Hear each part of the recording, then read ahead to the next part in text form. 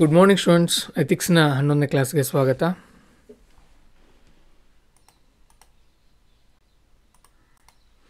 ಸರಿ, ನಾವು ಇವತ್ತಿನ ಕ್ಲಾಸನ್ನು ಕಂಟಿನ್ಯೂ ಮಾಡೋಣ. ಕ್ವಿಜ್ ನಿನ್ನೆ ಓಲ್ಡ್ ಕ್ವಶನ್ ಪೇಪರನ್ನು ನಮ್ಮ ಫ್ಯಾಕಲ್ಟಿಯವರು ಹಾಕಿಲ್ಲ. ಸೊ ಇವತ್ತು ಹಾಕ್ತಾರೆ ಮತ್ತು ನಾಳೆ ನಾವು ಓಲ್ಡ್ ಕ್ವಶನ್ ಪೇಪರನ್ನು ಡಿಸ್ಕಸ್ ಮಾಡೋಣ. ಇವತ್ತು ನಮ್ಮ ಕ್ಲಾಸ್ನೊಂದಿಗೆ ನಾವು ನಮ್ಮ ಒಂದು ತಯಾರಿಯನ್ನು ಕಂಟಿನ್ಯೂ ಮಾಡೋಣ. ನೋಡಿ, ನಿನ್ನೆ ಕ್ಲಾಸ್ನಲ್ಲಿ ನಾನು ನಿಮಗೆ ಈಕ್ವಾಲಿಟಿ ಬಗ್ಗೆ ಹೇಳಿದ್ದೆ. ಅಲ್ವಾ? ನೆಕ್ಸ್ಟ್ ಫೇರ್ನೆಸ್ ಅವುಗಳ ವ್ಯತ್ಯಾಸ. ಈಕ್ವಾಲಿಟಿಯಲ್ಲಿ ಎಷ್ಟು ತರಹಗಳಿವೆ? ಆಮೇಲೆ ಫ್ರ್ಯಾಟರ್ನಿಟಿಯನ್ನು ನೋಡಿದ್ವಿ, ಸಹೋದರತ್ವ ಬಿಹೇವಿಯರ್ ನೋಡಿದ್ವಿ, ವರ್ತನೆಯ ಬಗ್ಗೆ ತಿಳ್ಕೊಂಡಿದ್ವಿ. ಮನಸ್ಸು ಮತ್ತು ಬಿಹೇವಿಯರ್ ಬಗ್ಗೆ. ನಮ್ಮ ಮೈಂಡ್ ಮತ್ತು ಬಿಹೇವಿಯರ್ ಹೇಗೆ ವರ್ಕ್ ಮಾಡುತ್ತೆ? ಮತ್ತು ಮನುಷ್ಯನ ಬಿಹೇವಿಯರ್ ಹೇಗಿರುತ್ತೆ? ಯಾಕೆ ಮನುಷ್ಯನ ಬಿಹೇವಿಯರ್ ಬದಲಾಗುತ್ತೆ? ಅಲ್ವಾ? ಆ ಆಕ್ಸಿಡೆಂಟ್ ಕೇಸ್ಗಳ ಎಕ್ಸಾಂಪಲ್ ಕೊಟ್ಟು ನಾನು ನಿಮಗೆ ಉದಾಹರಣೆಗಳನ್ನ ಕೊಟ್ಟಿದ್ದೆ. ಆಮೇಲೆ ಆ್ಯಟಿಟ್ಯೂಡು ಮತ್ತು ಬಿಹೇವಿಯರ್ಗಳ ಬಗ್ಗೆ ಹೇಳಿ, ತಿಳ್ಕೊಂಡಿದ್ವಿ.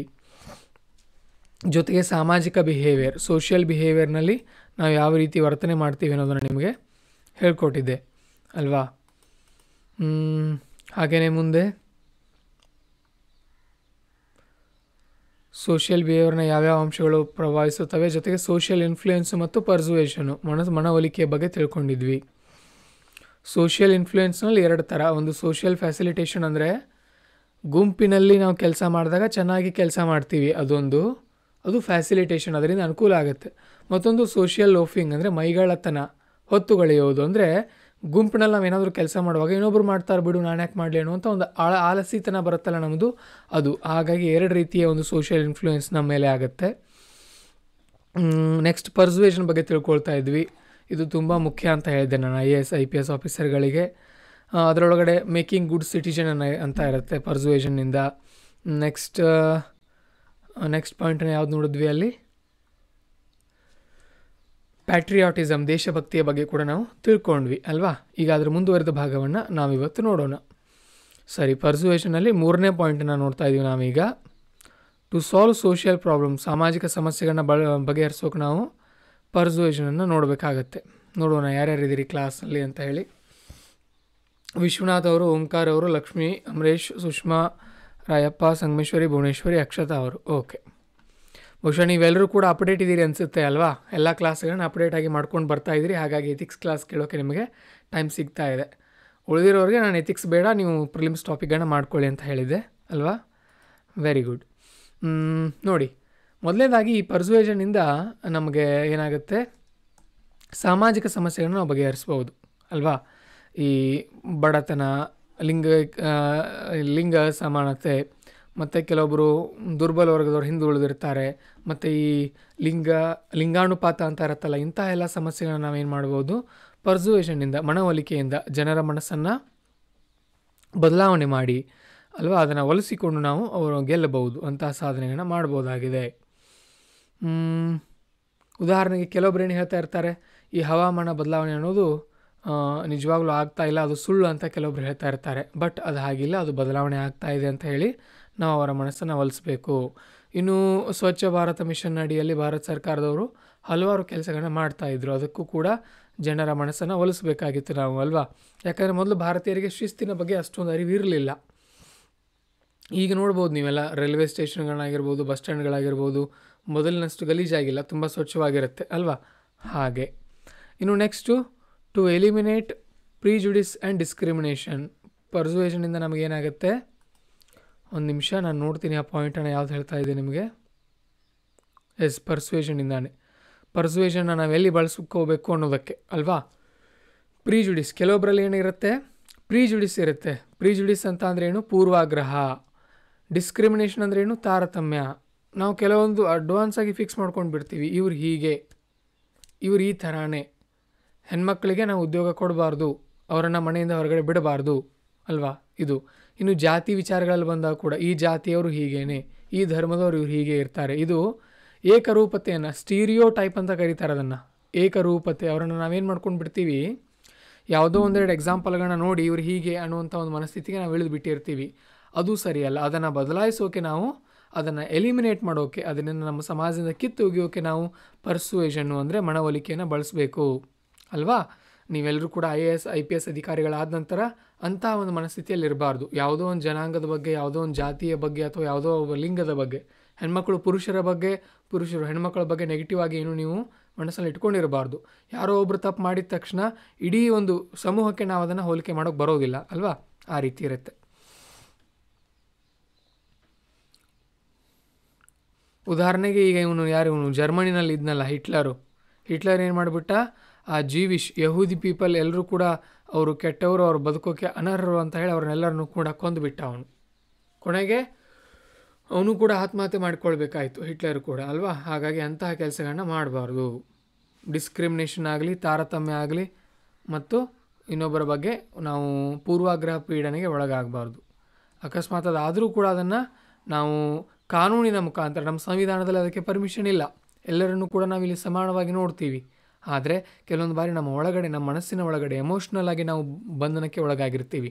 ಅದಕ್ಕೆ ಅವಕಾಶ ಮಾಡಿಕೊಡಬಾರ್ದು ಅದರಿಂದ ಆಚೆ ಬರೋಕ್ಕೆ ನಿರಂತರವಾಗಿ ಪ್ರಯತ್ನವನ್ನು ಮಾಡ್ತಾ ಇರಬೇಕು ಅಂತ ಪಾಯಿಂಟನ್ನು ಇಲ್ಲಿ ಹೇಳ್ತಾ ಇದ್ದಾರೆ. ಓಕೆ ಮತ್ತು ನಾವು ಪ್ರೀಜುಡಿಸಿ ಪೂರ್ವಾಗ್ರಹ ಅಂತ ಹೇಳಿದ್ನಲ್ಲ ನಿಮಗೆ? ಪೂರ್ವಾಗ್ರಹ ಅಂದರೆ ಮೊದಲೇ ನಾವು ಒಂದು ಯಾವುದೋ ವಿಚಾರದ ಬಗ್ಗೆ ಫಿಕ್ಸ್ ಆಗ್ತೀವಲ್ಲ? ಅದು ಹೇಗೆ ಆಗ್ತೀವಿ ಅಂದರೆ ಮೊದಲೇ ನಮ್ಮ ಕುಟುಂಬದಲ್ಲಿ ಯಾರಾದರೂ ನಮ್ಗೆ ಏನಾದರೂ ಹೇಳಿರ್ತಾರೆ, ಅಥವಾ ನಮ್ಮ ಸ್ನೇಹಿತರು ಏನು ಹೇಳ್ತಾರೆ ಅದನ್ನು ನೋಡ್ತೀವಿ, ಅಥವಾ ನಮ್ಮ ವೈಯಕ್ತಿಕ ಅನುಭವಗಳು ಕೂಡ ಒಂದೊಂದು ಸಾರಿ ಆಗಿರುತ್ತೆ, ಅಲ್ವಾ? ಮತ್ತು ಮಾಧ್ಯಮ ಕೂಡ, ಈ ಟಿ ವಿಯವರು ಕೂಡ ನಮಗೆ ಏನು ಮಾಡ್ತಾರೆ, ಕೆಲವೊಂದು ಮಾತನ್ನು ಹೇಳ್ಕೊಡ್ತಾರೆ. ಉದಾಹರಣೆಗೆ ಈಗ ಚೀನಾ ಬಗ್ಗೆ ಅವ್ರು ಏನು ಮಾಡ್ತಾರೆ? ಎಲ್ಲ ನೆಗೆಟಿವ್ ಆಗಿ ಹೇಳ್ತಾರೆ. ಬಟ್ ಇತ್ತೀಚೆಗೆ ನೀವು ಕರ್ನಾಟಕದ ಫೇಮಸ್ ವ್ಲಾಗರ್ ಇದ್ದಾರೆ ಅಲ್ವಾ? ಯಾರಿದ್ದಾರೆ? ಡಾಕ್ಟರ್ ಬ್ರೋ ಅಂತ ಒಬ್ಬಿದ್ದಾರೆ ನೋಡಿ, ಅಲ್ವಾ? ಅವ್ರು ಚೀನಾಕ್ಕೆ ಹೋಗಿ ಅಲ್ಲಿ ತೋರಿಸಿದ್ರು ನಮ್ಮ ಕನ್ನಡಿಗರಿಗೆ, ಚೀನಾ ಹೇಗಿದೆ ನಿಜವಾಗ್ಲೂ? ನಾವು ಅಂದ್ಕೊಳ್ಳೋ ಹಾಗೆ ಚೀನಾದಲ್ಲಿ ಜನರಿಗೆ ಸ್ವಾತಂತ್ರ್ಯ ಇಲ್ವಾ? ಹಾಗಿಲ್ಲ, ಚೀನಾ ತುಂಬ ಚೆನ್ನಾಗೇ ಇದೆ. ಅವ್ರ ದೇಶದವ್ರನ್ನ ಅವ್ರು ತುಂಬ ಚೆನ್ನಾಗೇ ಇಟ್ಕೊಳ್ತಾರೆ. ಅವ್ರ ದೇಶದ ಒಳಗಡೆನೆ ಅವರು ಕೋಮು ಗಲಭೆಗಳನ್ನು ಮಾಡೋದಿಲ್ಲ. ಅದಕ್ಕೋಸ್ಕರನೇ ಜಗತ್ತಿನ ಎರಡನೇ ಶ್ರೀಮಂತ ರಾಷ್ಟ್ರ ಆದ್ರೆ ಅವರು. ಎಷ್ಟು ವರ್ಷಗಳಲ್ಲಿ ಹೇಳಿ? ಕೇವಲ ಮೂವತ್ತು ವರ್ಷಗಳಲ್ಲಿ. ಜಗತ್ತಿನ ಎರಡನೇ ಶ್ರೀಮಂತ ರಾಷ್ಟ್ರ ಆದರು. ಉಣ್ಣೋ ಕೂಡ ಗತಿ ಇರಲಿಲ್ಲ ಚೀನಾದವರಿಗೆ. ಓಕೆ? ಹಾಗಾಗಿ ನಾವು ಯಾವುದೋ ಒಂದು ದೇಶದ ಬಗ್ಗೆ, ಯಾವುದೋ ಒಂದು ಜನಾಂಗದ ಬಗ್ಗೆ ಈ ಮೊದಲು ನಾವು ಅಂದಾನು, ಅಂದ ಪೂರ್ವಾಗ್ರಹಕ್ಕೆ ಒಳಗಾಗಿರಬಾರ್ದು. ಅರ್ಥ ಆಯ್ತಾ? ಸೊ ಅದು ನಮಗೆ ಅದನ್ನು, ಆ ರೀತಿಯ ಪೂರ್ವಾಗ್ರಹ ನಮ್ಮೊಳಗಡೆ ಇದ್ದರೆ ಅಥವಾ ಮತ್ತೊಬ್ಬರೊಳಗಡೆ ಇದ್ದರೆ ನೀವು ಸಿವಿಲ್ ಸರ್ವೆಂಟ್ ಆದ ನಂತರ ಮನವೊಲಿಕೆ ಮುಖಾಂತರ ಅದನ್ನು ಕಿತ್ತೊಗಿಬೇಕು. ಅರ್ಥ ಆಯ್ತಾ? ಆ ರೀತಿ ಇರಬೇಕು.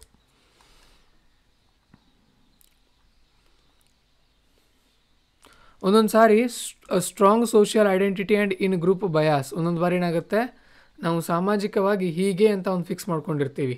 ಓಕೆ ಒಂದೊಂದು, ಒಂದು, ಒಂದೊಂದು ಗುಂಪದ ಪರವಾಗಿರ್ತೀವಿ ಕೂಡ, ನಾವು ಕೂಡ, ಅಲ್ವಾ ನಮ್ಮ ಮನಸ್ಸಿನ ಒಳಗಡೆಯಿಂದ. ಬಟ್ ಅದು ಡಿ ಸಿ ಆದ ನಂತರ ಐ ಎ ಎಸ್ ಅಧಿಕಾರಿಗಳಾದ ನಂತರ ಆ ರೀತಿ ಆಗಬಾರ್ದು. ಅದರಿಂದ ಏನಾಗುತ್ತಂತ ಅಂದರೆ ಓಕೆ ಸ್ಕೆಪೆಗೋಟಿಂಗ್ ಅಂತ ಆಗುತ್ತೆ. ಸ್ಕೆಪೆಗೋಟಿಂಗ್ ಅಂದರೆ ಬಲಿಪಶು ನಾವು ಅನವಶ್ಯಕವಾಗಿ ತಪ್ಪು ಮಾಡದೇ ಇರೋಣ ನಾವು ಬಲಿಪಶುಗೆ ಒಳಗಾಗ, ಒಳಗಾಗ್ತಾರೆ. ಅಲ್ವಾ? ಉದಾಹರಣೆಗೆ ಈಗ ಮೆಜಾರಿಟಿ ಗ್ರೂಪ್ ಇರುತ್ತೆ. ಒಂದು ದೇಶದಲ್ಲಿ ಬಹುಸಂಖ್ಯಾತರಿದ್ದಾರೆ ಅಂದ್ಕೊಳ್ಳೋಣ ಅವ್ರೇನು ಮಾಡ್ತಾ ಇರ್ತಾರೆ? ಮೈನಾರಿಟಿ ಅಲ್ಪಸಂಖ್ಯಾತರ ಮೇಲೆ ಸುಖ ಸುಮ್ಮನೆ ದೂರನ್ನು ಹಾಕ್ತಾ ಇರ್ತಾರೆ. ಯಾರಾದರೂ ಒಳಗಡೆ ಒಬ್ಬ ತಪ್ಪು ಮಾಡಿದಾಗ.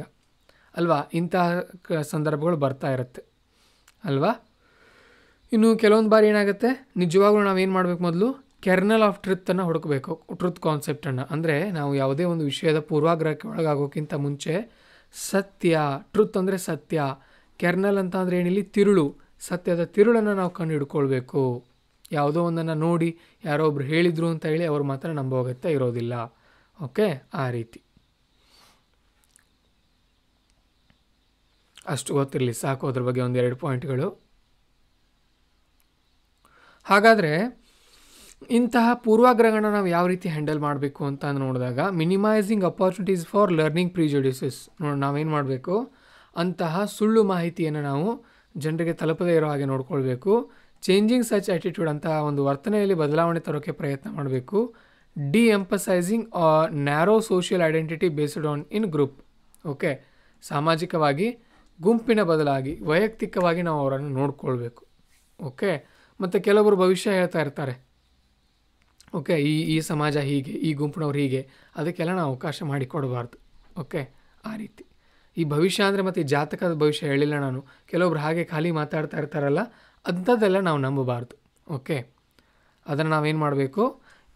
ಸಮಾಜದಲ್ಲಿ ಅವಕಾಶ ಮಾಡಿ ಕೊಡಬಾರ್ದು. ಅಂತ ಸುಳ್ಳು ಸುಳ್ಳು ಹೇಳಿಕೆ ಕೊಡೋರಿಗೆ ನಾವು ಎಚ್ಚರಿಕೆಗಳನ್ನ ಕೊಡ್ತಾ ಇರಬೇಕು. ಓಕೆ? ಆ ರೀತಿ.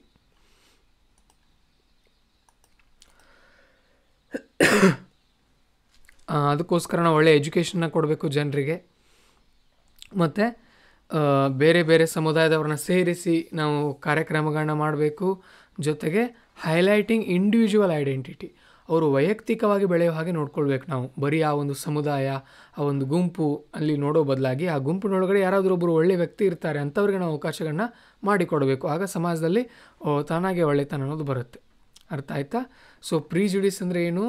ಈ ಕೆಲವೊಬ್ಬರು ನಾವೇ ಕೆಲವೊಬ್ಬರು ಈ ಸಮಾಜದ ಬಗ್ಗೆ ನೆಗೆಟಿವ್ ಆಗಿ ಅಥವಾ ಕೆಲವೊಂದು ಕುಟುಂಬದ ಬಗ್ಗೆ, ಕೆಲವೊಂದು ಸಮುದಾಯದ ಬಗ್ಗೆ, ಕೆಲವೊಬ್ಬ ವ್ಯಕ್ತಿಗಳ ಬಗ್ಗೆ ನೆಗೆಟಿವ್ ಅಭಿಪ್ರಾಯಗಳನ್ನ ಹೊಂದಿರ್ತಾರೆ ಇದರಿಂದ ಸಮಾಜದಲ್ಲಿ ಅಶಾಂತಿಗಳು ಉಂಟಾಗ್ತಾ ಇರುತ್ತೆ. ಅದನ್ನು ನಾವು ಹೊರಗೆ ಅದನ್ನು ನಾವು ನಾಶ ಮಾಡಬೇಕು ಸಿವಿಲ್ ಸರ್ವೆಂಟ್ಗಳು.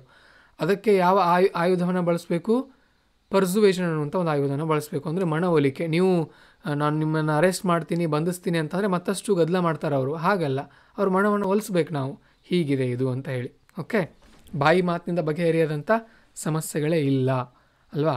ನೆಕ್ಸ್ಟು ಮನವೊಲಿಕೆಯನ್ನು ನಾವೆಲ್ಲಿ ಬಳಸಬೇಕು? ಎಥಿಕಲ್ ಮತ್ತು ಗುಡ್ ಗವರ್ನೆನ್ಸ್ನಲ್ಲಿ ಒಳ್ಳೆಯ ಆಡಳಿತವನ್ನು ನೀಡೋದ್ರಲ್ಲೂ ಕೂಡ ನಾವು ಅದನ್ನು ಬಳಸ್ಬೋದು. ಓಕೆ ಗವರ್ನೆನ್ಸ್ ಅಂತ ಅಂದ್ರೇನು ಆಡಳಿತ. ಗುಡ್ ಗವರ್ನೆನ್ಸ್ ಅಂದರೆ ಒಳ್ಳೆಯ ಆಡಳಿತ ಕೊಡೋದು. ಓಕೆ ಇನ್ನು ಎಥಿಕಲ್ ಗವರ್ನೆನ್ಸ್ ಅಂತ ಮತ್ತೊಂದು ಬರುತ್ತೆ. ಅದಕ್ಕಿಂತ ಚೆನ್ನಾಗಿ ಆಡಳಿತವನ್ನು ಕೊಡೋದು. ಗುಡ್ ಗವರ್ನೆನ್ಸ್ನ ಮುಂದಿನ ಹೆಜ್ಜೆ ಅದು. ಉದಾಹರಣೆಗೆ ನಮ್ಮ ಭಾರತದಲ್ಲಿ ಗುಡ್ ಗವರ್ನೆನ್ಸ್ಗೆ ನೋಡೋದಾದರೆ ಸಿಟಿಜನ್ ಚಾರ್ಟರು ಮತ್ತು ಆರ್ ಟಿ ಐಗಳಂತಹ ಗವರ್ನೆನ್ಸ್ಗಳಿದೆ ಓಕೆ ಸಿಟಿಜನ್ ಚಾರ್ಟರ್ ಅಂತ ಅಂದರೆ ನಾನು ಈಗಾಗಲೇ ಒಂದು ಸಾರಿ ಹೇಳಿದ್ದೀನಿ, ನಿಮಗೆ ಇನ್ನೊಮ್ಮೆ ಸಾರಿ ಹೇಳ್ತೀನಿ. ಸಿಟಿಜನ್ ಚಾರ್ಟರ್ ಅಂದರೆ ನಾಗರಿಕ ಸನ್ನೋದು ಅಂತ ಕರಿತೀವಿ ನಾವು ಕನ್ನಡದಲ್ಲಿ. ನಾಗರಿಕ ಸನ್ನದು. ಇದೇನೆಂದರೆ, ಈಗ ಡಿ ಸಿ ಆಫೀಸ್ ಇರುತ್ತೆ ಗೊತ್ತಾ? ಡಿ ಸಿ ಆಫೀಸ್ನಲ್ಲಿ ನೀವು ಹೋದರೆ ಗೋಡೆ ಮೇಲೆ ದೊಡ್ಡದಾಗಿ ಬರ, ಬರೆದಂಟಿಸಿರ್ತಾರೆ. ಇಲ್ಲಿ ಸಿಗುವಂತಹ ಸೌಲಭ್ಯಗಳು, ಅದಕ್ಕೆ ಫೀಸ್ ಕೂಡ ಬರೆದಿರ್ತಾರೆ ಮುಂದೆ. ಓಕೆ ಇದನ್ನು ಸಿಟಿಜನ್ ಚಾರ್ಟರ್ ಅಂತ ಕರಿತೀವಿ. ಇನ್ನು ಆರ್ ಟಿ ಐ ಅಂತ ಮತ್ತೊಂದು ಬರುತ್ತೆ. ಆರ್ ಟಿ ಐ ಅಂತ ಅಂದರೆ ಮಾಹಿತಿ ಹಕ್ಕು. ನೀವೇನು ಮಾಡ್ಬೋದು? ಯಾವುದಾದ್ರೂ ಸರ್ಕಾರಿ ನೌಕರರನ್ನು ಪ್ರಶ್ನೆ ಮಾಡ್ಬೋದು ನೀವು. ಒಂದು ಅರ್ಜಿಯ ಮುಖಾಂತರ ಹತ್ತು ರೂಪಾಯಿ ಖರ್ಚು ಮಾಡಿದ್ರೆ ಅವರನ್ನು ನೀವು ಪ್ರಶ್ನೆ ಮಾಡ್ಬೋದು ಅಂತ ಒಂದು ಅಧಿಕಾರವನ್ನು ಕೊಡಲಾಗಿದೆ. ಬಟ್ ಅವೆಲ್ಲ ಅಷ್ಟೊಂದು ಪರಿ, ಪರಿಣಾಮಕಾರಿಯಾಗಿ ಯಶಸ್ವಿ ಆಗಿಲ್ಲ ಕಾರಣ ಏನು? ಗುಡ್ ಗವರ್ನೆನ್ಸ್ ಇದೆ. ಸರ್ಕಾರ ಪ್ರಯತ್ನ ಪಡ್ತಾ ಇದೆ ಬಟ್ ಆಡಳಿತ ನಡೆಸೋರಲ್ಲಿ ಎಥಿಕಲ್ ಗವರ್ನೆನ್ಸ್ ಇಲ್ಲ. ಎಥಿಕಲ್ ನೈತಿಕ ಆಡಳಿತ ಇಲ್ಲ. ಅದಕ್ಕೋಸ್ಕರ ಅಧಿಕಾರಿಗಳು ಏನು ಮಾಡಿಬಿಡ್ತಾರೆ? ಲೇಸಿ ಆಗಿಬಿಡ್ತಾರೆ. ಆಲ್ಸಿತನ ತೋರೋದು ಅಥವಾ ಸುಳ್ಳು ಮಾಹಿತಿಯನ್ನು ಕೊಡೋದು ಇಂಥ ಕೆಲಸವನ್ನು ಕೂಡ ಮಾಡ್ತಾ ಇರ್ತಾರೆ. ಇನ್ನು ಎಕ್ಸಾಮ್ನಲ್ಲಿ ಗುಡ್ ಗವರ್ನೆನ್ಸ್ ಬಗ್ಗೆ ಪ್ರಶ್ನೆ ಬಂದರೆ ಇಲ್ಲಿರುವಂಥ ಪಾಯಿಂಟ್ಗಳನ್ನ ಬರೀರಿ. ಗುಡ್ ಗವರ್ನೆನ್ಸ್ ಸುತ್ತಮುತ್ತ ಈ ರೀತಿ ಅದು ಮುಕ್ತವಾಗಿರುತ್ತೆ, ಪಾರದರ್ಶಕವಾಗಿರುತ್ತೆ ಅಕೌಂಟೇಬಲ್ ಹೊಣೆಗಾರಿಕೆಯಲ್ಲಿ ಇರುತ್ತೆ. ಅಲ್ವಾ? ಮತ್ತು ಅಲ್ಲಿ ಕೋಹೆರೆಂಟ್ ಆಗಿರುತ್ತೆ. ಇಂಟ್ ಕೋಹೆರೆಂಟ್ ಅಂದರೆ ಎಲ್ಲೂ ಸೇರಿ ಒಂದೇ ದಿಕ್ಕಿನಲ್ಲಿ ಕೆಲಸ ಮಾಡೋ ರೀತಿಯಲ್ಲಿ. ಇವು ಇಂಟಿಗ್ರೇಟಿವ್ ಆಗಿರುತ್ತೆ ರೆಸ್ಪಾನ್ಸಿವ್ ಇರುತ್ತೆ ಸಸ್ಟೈನೇಬಲ್ ಸುಸ್ಥಿರವಾಗಿರುತ್ತೆ. ಇಕ್ವಿಟಿಬಲ್ ಮತ್ತು ಎಥಿಕಲ್ ಎಲ್ಲರಿಗೂ ಕೂಡ ಸಮಾನವಾಗಿರುತ್ತೆ ಮತ್ತು ನೈತಿಕವಾಗಿರುತ್ತೆ. ಎಫೆಕ್ಟಿವ್ ಪರಿಣಾಮಕಾರಿಯಾಗಿರುತ್ತೆ. ಎಫಿಷಿಯೆಂಟ್ ದಕ್ಷತೆಯಿಂದ ಕೂಡಿರುತ್ತೆ. ಮತ್ತು ಅಲ್ಲಿ ಕಾನೂನಿನ ಆಡಳಿತ ಇರುತ್ತೆ. ಕಾನೂನನ್ನು ಅಳವಡಿಸ್ಕೊಂಡು ಆಳ್ತಿರ್ತಾರೆ. ಮನಸ್ಸಿಗೆ ಬಂದೋ, ಮನಸ್ಸಿಗೆ ಬಂದವರು ಹಾಗೆ ಆಳ್ತಾ ಇರಲ್ಲ ಅಲ್ಲಿ. ಓಕೆ ಮತ್ತು ಪಾರ್ಟಿಸಿಪೇಟ್ರಿ ಜನ ಪಾಲ್ಗೊಳ್ಳೋ ರೀತಿಯಲ್ಲಿರುತ್ತೆ. ಮತ್ತು ಕನ್ಸೆನ್ಸಸ್ ಓರಿಯೆಂಟೆಡ್ ಕನ್ಸೆನ್ಸಸ್ ಅಂತ ಅಂದರೆ ಸರ್ವಸಮ್ಮತಿ ಕನ್ಸೆನ್ಸ್ ಅಂದರೆ ಸರ್ವಸಮ್ಮತಿ ಎಲ್ಲರ ಒಪ್ಪಿಗೆ. ಎಲ್ಲರ ಒಪ್ಪಿಗೆಯೊಂದಿಗೆ ಕೆಲಸಗಳಾಗ್ತಾ ಇರುತ್ತೆ ಅಲ್ಲಿ.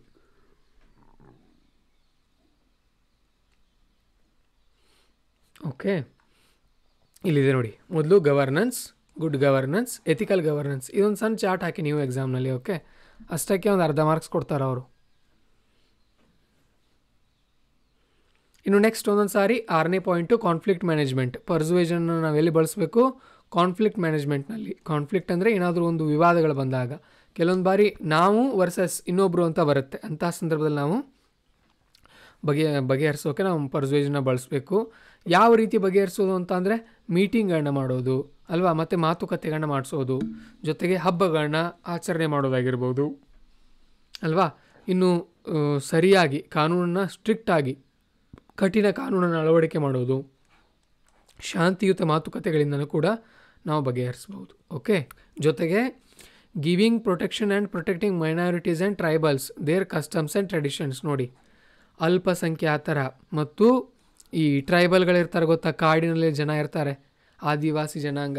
ಇಂಥವರನ್ನು ನಾವೇನು ಮಾಡಬೇಕು? ರಕ್ಷಣೆ ಮಾಡಬೇಕು. ಅವ್ರದ್ದಾದಂತಹ ಸಂಸ್ಕೃತಿಗಳಿರುತ್ತೆ. ಅದನ್ನು ನಾವು ರಕ್ಷಣೆ ಮಾಡೋಕ್ಕೆ ಪ್ರಯತ್ನ ಪಡಬೇಕು. ಇತ್ತೀಚೆಗೆ ನಮ್ಮ ಭಾರತ ಸರ್ಕಾರದವರು ನಾಗಾ, ನಾಗಾಲ್ಯಾಂಡ್ನಲ್ಲಿ, ನಾಗಾಲ್ಯಾಂಡ್ ಈಶಾನ್ಯ ರಾಜ್ಯದಲ್ಲೆಲ್ಲ ನಾಗಾ ಅಂತ ಗ್ರೂಪ್ಸ್ ಬರುತ್ತೆ ಅದು. ಅವ್ರ ಜೊತೆ ಮಾತಾಡಿ ಅವರ ಸಮಸ್ಯೆನ ಬಗೆಹರಿಸಿದ್ದಾರೆ. ಆ್ಯಕ್ಚುಲಿ ಅವರು ದೇಶದ ವಿರುದ್ಧ ಒಂದು ರೀತಿ ಪ್ರತಿಭಟನೆ ಮಾಡ್ತಾ ನಿಂತಿದ್ರು. ಕೆಲವೊಬ್ಬರು ಅದರಲ್ಲಿ ನಕ್ಸಲ್ ಕೂಡ ಆಗ್ತಾಯಿದ್ರು ನಕ್ಸಲ್ರಾಗಿ ಈ ದೇಶಕ್ಕೆ ಹಾನಿ ಮಾಡ್ತಾಯಿದ್ರು ಅವ್ರ ಜೊತೆ ಸರ್ಕಾರದವ್ರ ಮಾತುಕತೆ ಮಾಡಿ ಅದನ್ನು ಬಗೆಹರಿಸಿದ್ದಾರೆ. ಓಕೆ? ಆ ಪವರ್ ಇರಬೇಕು ನಿಮ್ಮ ಬಳಿ. Persuasion power. ಯಾರಿಗೆ ಪರ್ಸುವೇಷನ್ ಪವರ್ ತುಂಬ ಚೆನ್ನಾಗಿರುತ್ತೆ. ಅವರು ನಿಜವಾದ ಲೀಡರ್, ಗೊತ್ತಿರಲಿ. ಬರೀ ಮಾತಿನ ಮುಖಾಂತರ ಅವ್ರು ಬಗೆಹರಿಸ್ತಾರೆ ಅಂತ ಸಮಸ್ಯೆ ಬಂದರೂ ಕೂಡ. ಯುದ್ಧ ಮಾಡೋದಲ್ಲ. ಮತ್ತು ನಿಜವಾದ ಹೋ, ನಿಜವಾದ ಶಕ್ತಿಶಾಲಿ ಹೋರಾಟಗಾರ ಯಾರು ಅಂತ ಅಂದರೆ, ಯುದ್ಧ ಮಾಡೋಕ್ಕೆ ಬಿಡಲ್ಲ ಅವರು. ಯುದ್ಧ ಮಾಡ್ದೇ ಗೆಲ್ತಾರೆ ಅವರು ಯುದ್ಧವನ್ನು. ಅವರು ನಿಜವಾದ ಹೋರಾಟಗಾರರು ಅಂತ ಹೇಳಿ ಚೀನಾದ ಒಂದು ಗಾದೆ ಮಾತು ಬರುತ್ತೆ ಅದು. ಸರಿನಾ? ಓಕೆ, ಇಲ್ಲಿಗೆ ನಮ್ಮ ಎರಡನೇ ಚಾಪ್ಟರ್, ಆ್ಯಟಿಟ್ಯೂಡ್ ಅನ್ನುವಂಥ ಒಂದು ಚಾಪ್ಟರ್ ಮುಗಿಯಿತು. ಸರಿನಾ? ಇಲ್ಲಿ ಓಲ್ಡ್ ಕ್ವಶನ್ ಪೇಪರ್ನಲ್ಲಿ ಕೇಳಿರುವಂಥ ಪ್ರಶ್ನೆಗಳನ್ನ ಕೊಟ್ಟಿದ್ದಾರೆ.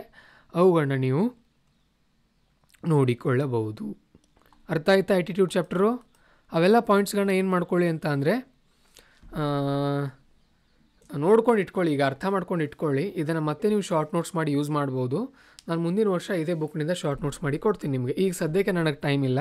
ಮುಂದಿನ ವರ್ಷ ಕೊಡ್ತೀನಿ ಇದರದು ಡಿ ಕೆ ಬಾಲಾಜಿದು ನಾನು ಈಗಲೇ ಕೊಡ್ತೀನಿ. ಒಂದು ಸ್ವಲ್ಪ ವೇಟ್ ಮಾಡಿ ನನಗೆ. ಅದರದ್ದು ರೆಡಿ ಇದೆ ಡಿ ಕೆ ಬಾಲಾಜಿದು. ಇದ್ರದ್ದು ನೋಟ್ಸ್ ಇಲ್ಲ ಇನ್ನು. ಇದ್ರದ್ದು ಕೂಡ ನಾನು ಚಾರ್ಟ್ ರೀತಿಯಲ್ಲಿ ಮಾಡಿಕೊಡ್ತೀನಿ, ನಿಮಗೆ ಈಸಿ ಆಗುತ್ತೆ. ಏನು ನಿಮ್ಗೆ ಯಾಕೆ ನಾನು ಈ ನೋಟ್ಸ್ ಇದ್ದಾಗಿಯೂ ಕೂಡ ಡಿ ಕೆ ಬಾಲಾಜಿ ಸರ್ ಅವ್ರ ನೋಟ್ಸನ್ನು ಬುಕ್ಕನ್ನು ಯಾಕೆ ಓದಿ ಅಂತ ಹೇಳ್ತಾ ಇದ್ದೀನಿ ಅಂದರೆ, ನಿಮಗೆ ಎಕ್ಸಾಮ್ ಬರೆಯುವಾಗ ಪದ ಭಂಡಾರ ಬೇಕು, ಪದಗಳ ಬಳಕೆ ಬೇಕು ನಿಮಗೆ. ಆ ಪದಗಳು ನಿಮ್ಗೆ ಯಾವಾಗ ಬರುತ್ತೆ? ಬರೀ ಕೇಳಿದ್ರೆ ಬರಲ್ಲ. ಕೇಳಿದರೆ ನೀವು ಭಾಷಣ ಮಾಡ್ತೀರಿ. ಓದಿದಾಗ ಮಾತ್ರ ನೀವು ಬರಿತೀರಿ, ಅಲ್ವಾ? ಕೇಳಲೂ ಬೇಕು ಓದಲೂ ಬೇಕು. ಅದಕ್ಕೆ ಡಿ ಕೆ ಬಾಲಾಜಿ ಪುಸ್ತಕ ತುಂಬ ಚೆನ್ನಾಗಿದೆ. ಈ ನೋಟ್ಸ್ಗಿಂತ ತುಂಬ ಚೆನ್ನಾಗಿದೆ ಅದು. ಬಟ್ ಈ ನೋಟ್ಸ್ನಲ್ಲಿ ಸ್ವಲ್ಪ ಎಕ್ಸ್ಟ್ರಾ ಕಂಟೆಂಟ್ ಇದೆ. ಓಕೆ, ಅದಕ್ಕೋಸ್ಕರ ಇದನ್ನು ನಾನು ಹೇಳ್ತಾ ಇರೋದು. ಅದು ಡಿ ಕೆ ಬಾಲಾಜಿ ಒಂದೇ ಸಾಲಲ್ಲ. ಓಕೆ? ಒಂದು ಎರಡು ಕಂಟೆಂಟನ್ನು ನಾವು ಚೆನ್ನಾಗಿ ಮಾಡ್ಕೊಂಡಾಗ ಎಥಿಕ್ಸ್ ಚೆನ್ನಾಗಾಗುತ್ತೆ. ಫುಲ್ ಮಾರ್ಕ್ಸ್ ತೊಗೊಳ್ಬೇಕಲ್ವ ನಾವು ಅದಕ್ಕೋಸ್ಕರ. ಸರಿನಾ, ಅರ್ಥ ಆಯ್ತಾ ಎಪ್ಟಿಟ್ಯೂಡ್ ಯಾವುದು? ಆ್ಯಟಿಟ್ಯೂಡ್ ಚಾಪ್ಟರ್ ಅರ್ಥ ಆಯ್ತಾ? ಆ್ಯಟಿಟ್ಯೂಡ್ ಎಸ್ ಅಂತ ಹೇಳಿ ನೋಡೋಣ.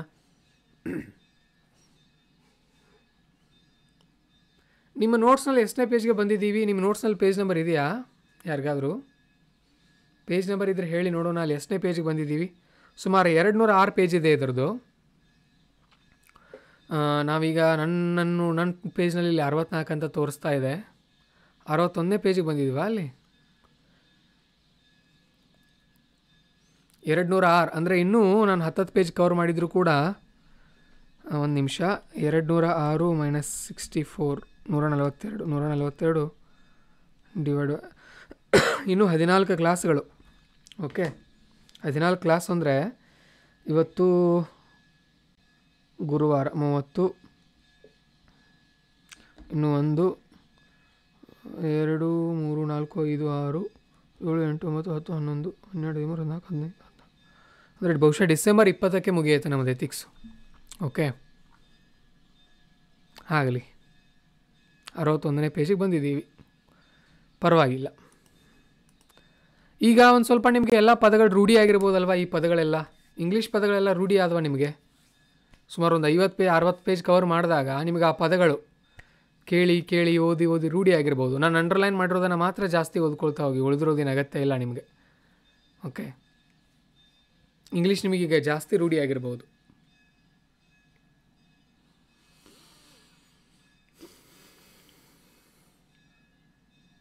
ಎಸ್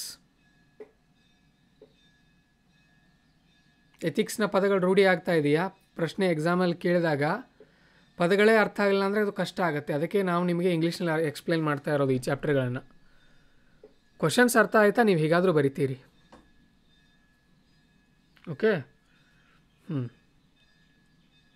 ಈಗ ಆ್ಯಪ್ಟಿಟ್ಯೂಡನ್ನು ನೋಡೋಣ. ಇದು ನಿಜವಾಗ್ಲೂ ನಮಗೆ ಬೇಕಾಗಿರೋದು. ಈಗ ನಾವು ನಿಜವಾದ ಒಂದು ಐ ಎಥಿಕ್ಸ್ಗೆ ಎಂಟ್ರಿ ಆಗ್ತಾ ಇದ್ದೀವಿ ಮೂರನೇ ಚಾಪ್ಟರ್ ಇದು. ಇದರಲ್ಲಿ ಒಂದು ನಿಮಿಷ. ಇದಕ್ಕಿಂತ ಮೇಲಿನ ಚಾಪ್ಟ್ರಲ್ಲಿ ನಾವು ಎಷ್ಟು ಪಾಯಿಂಟನ್ನು ನೋಡಿದ್ವಿ ಅಂದರೆ,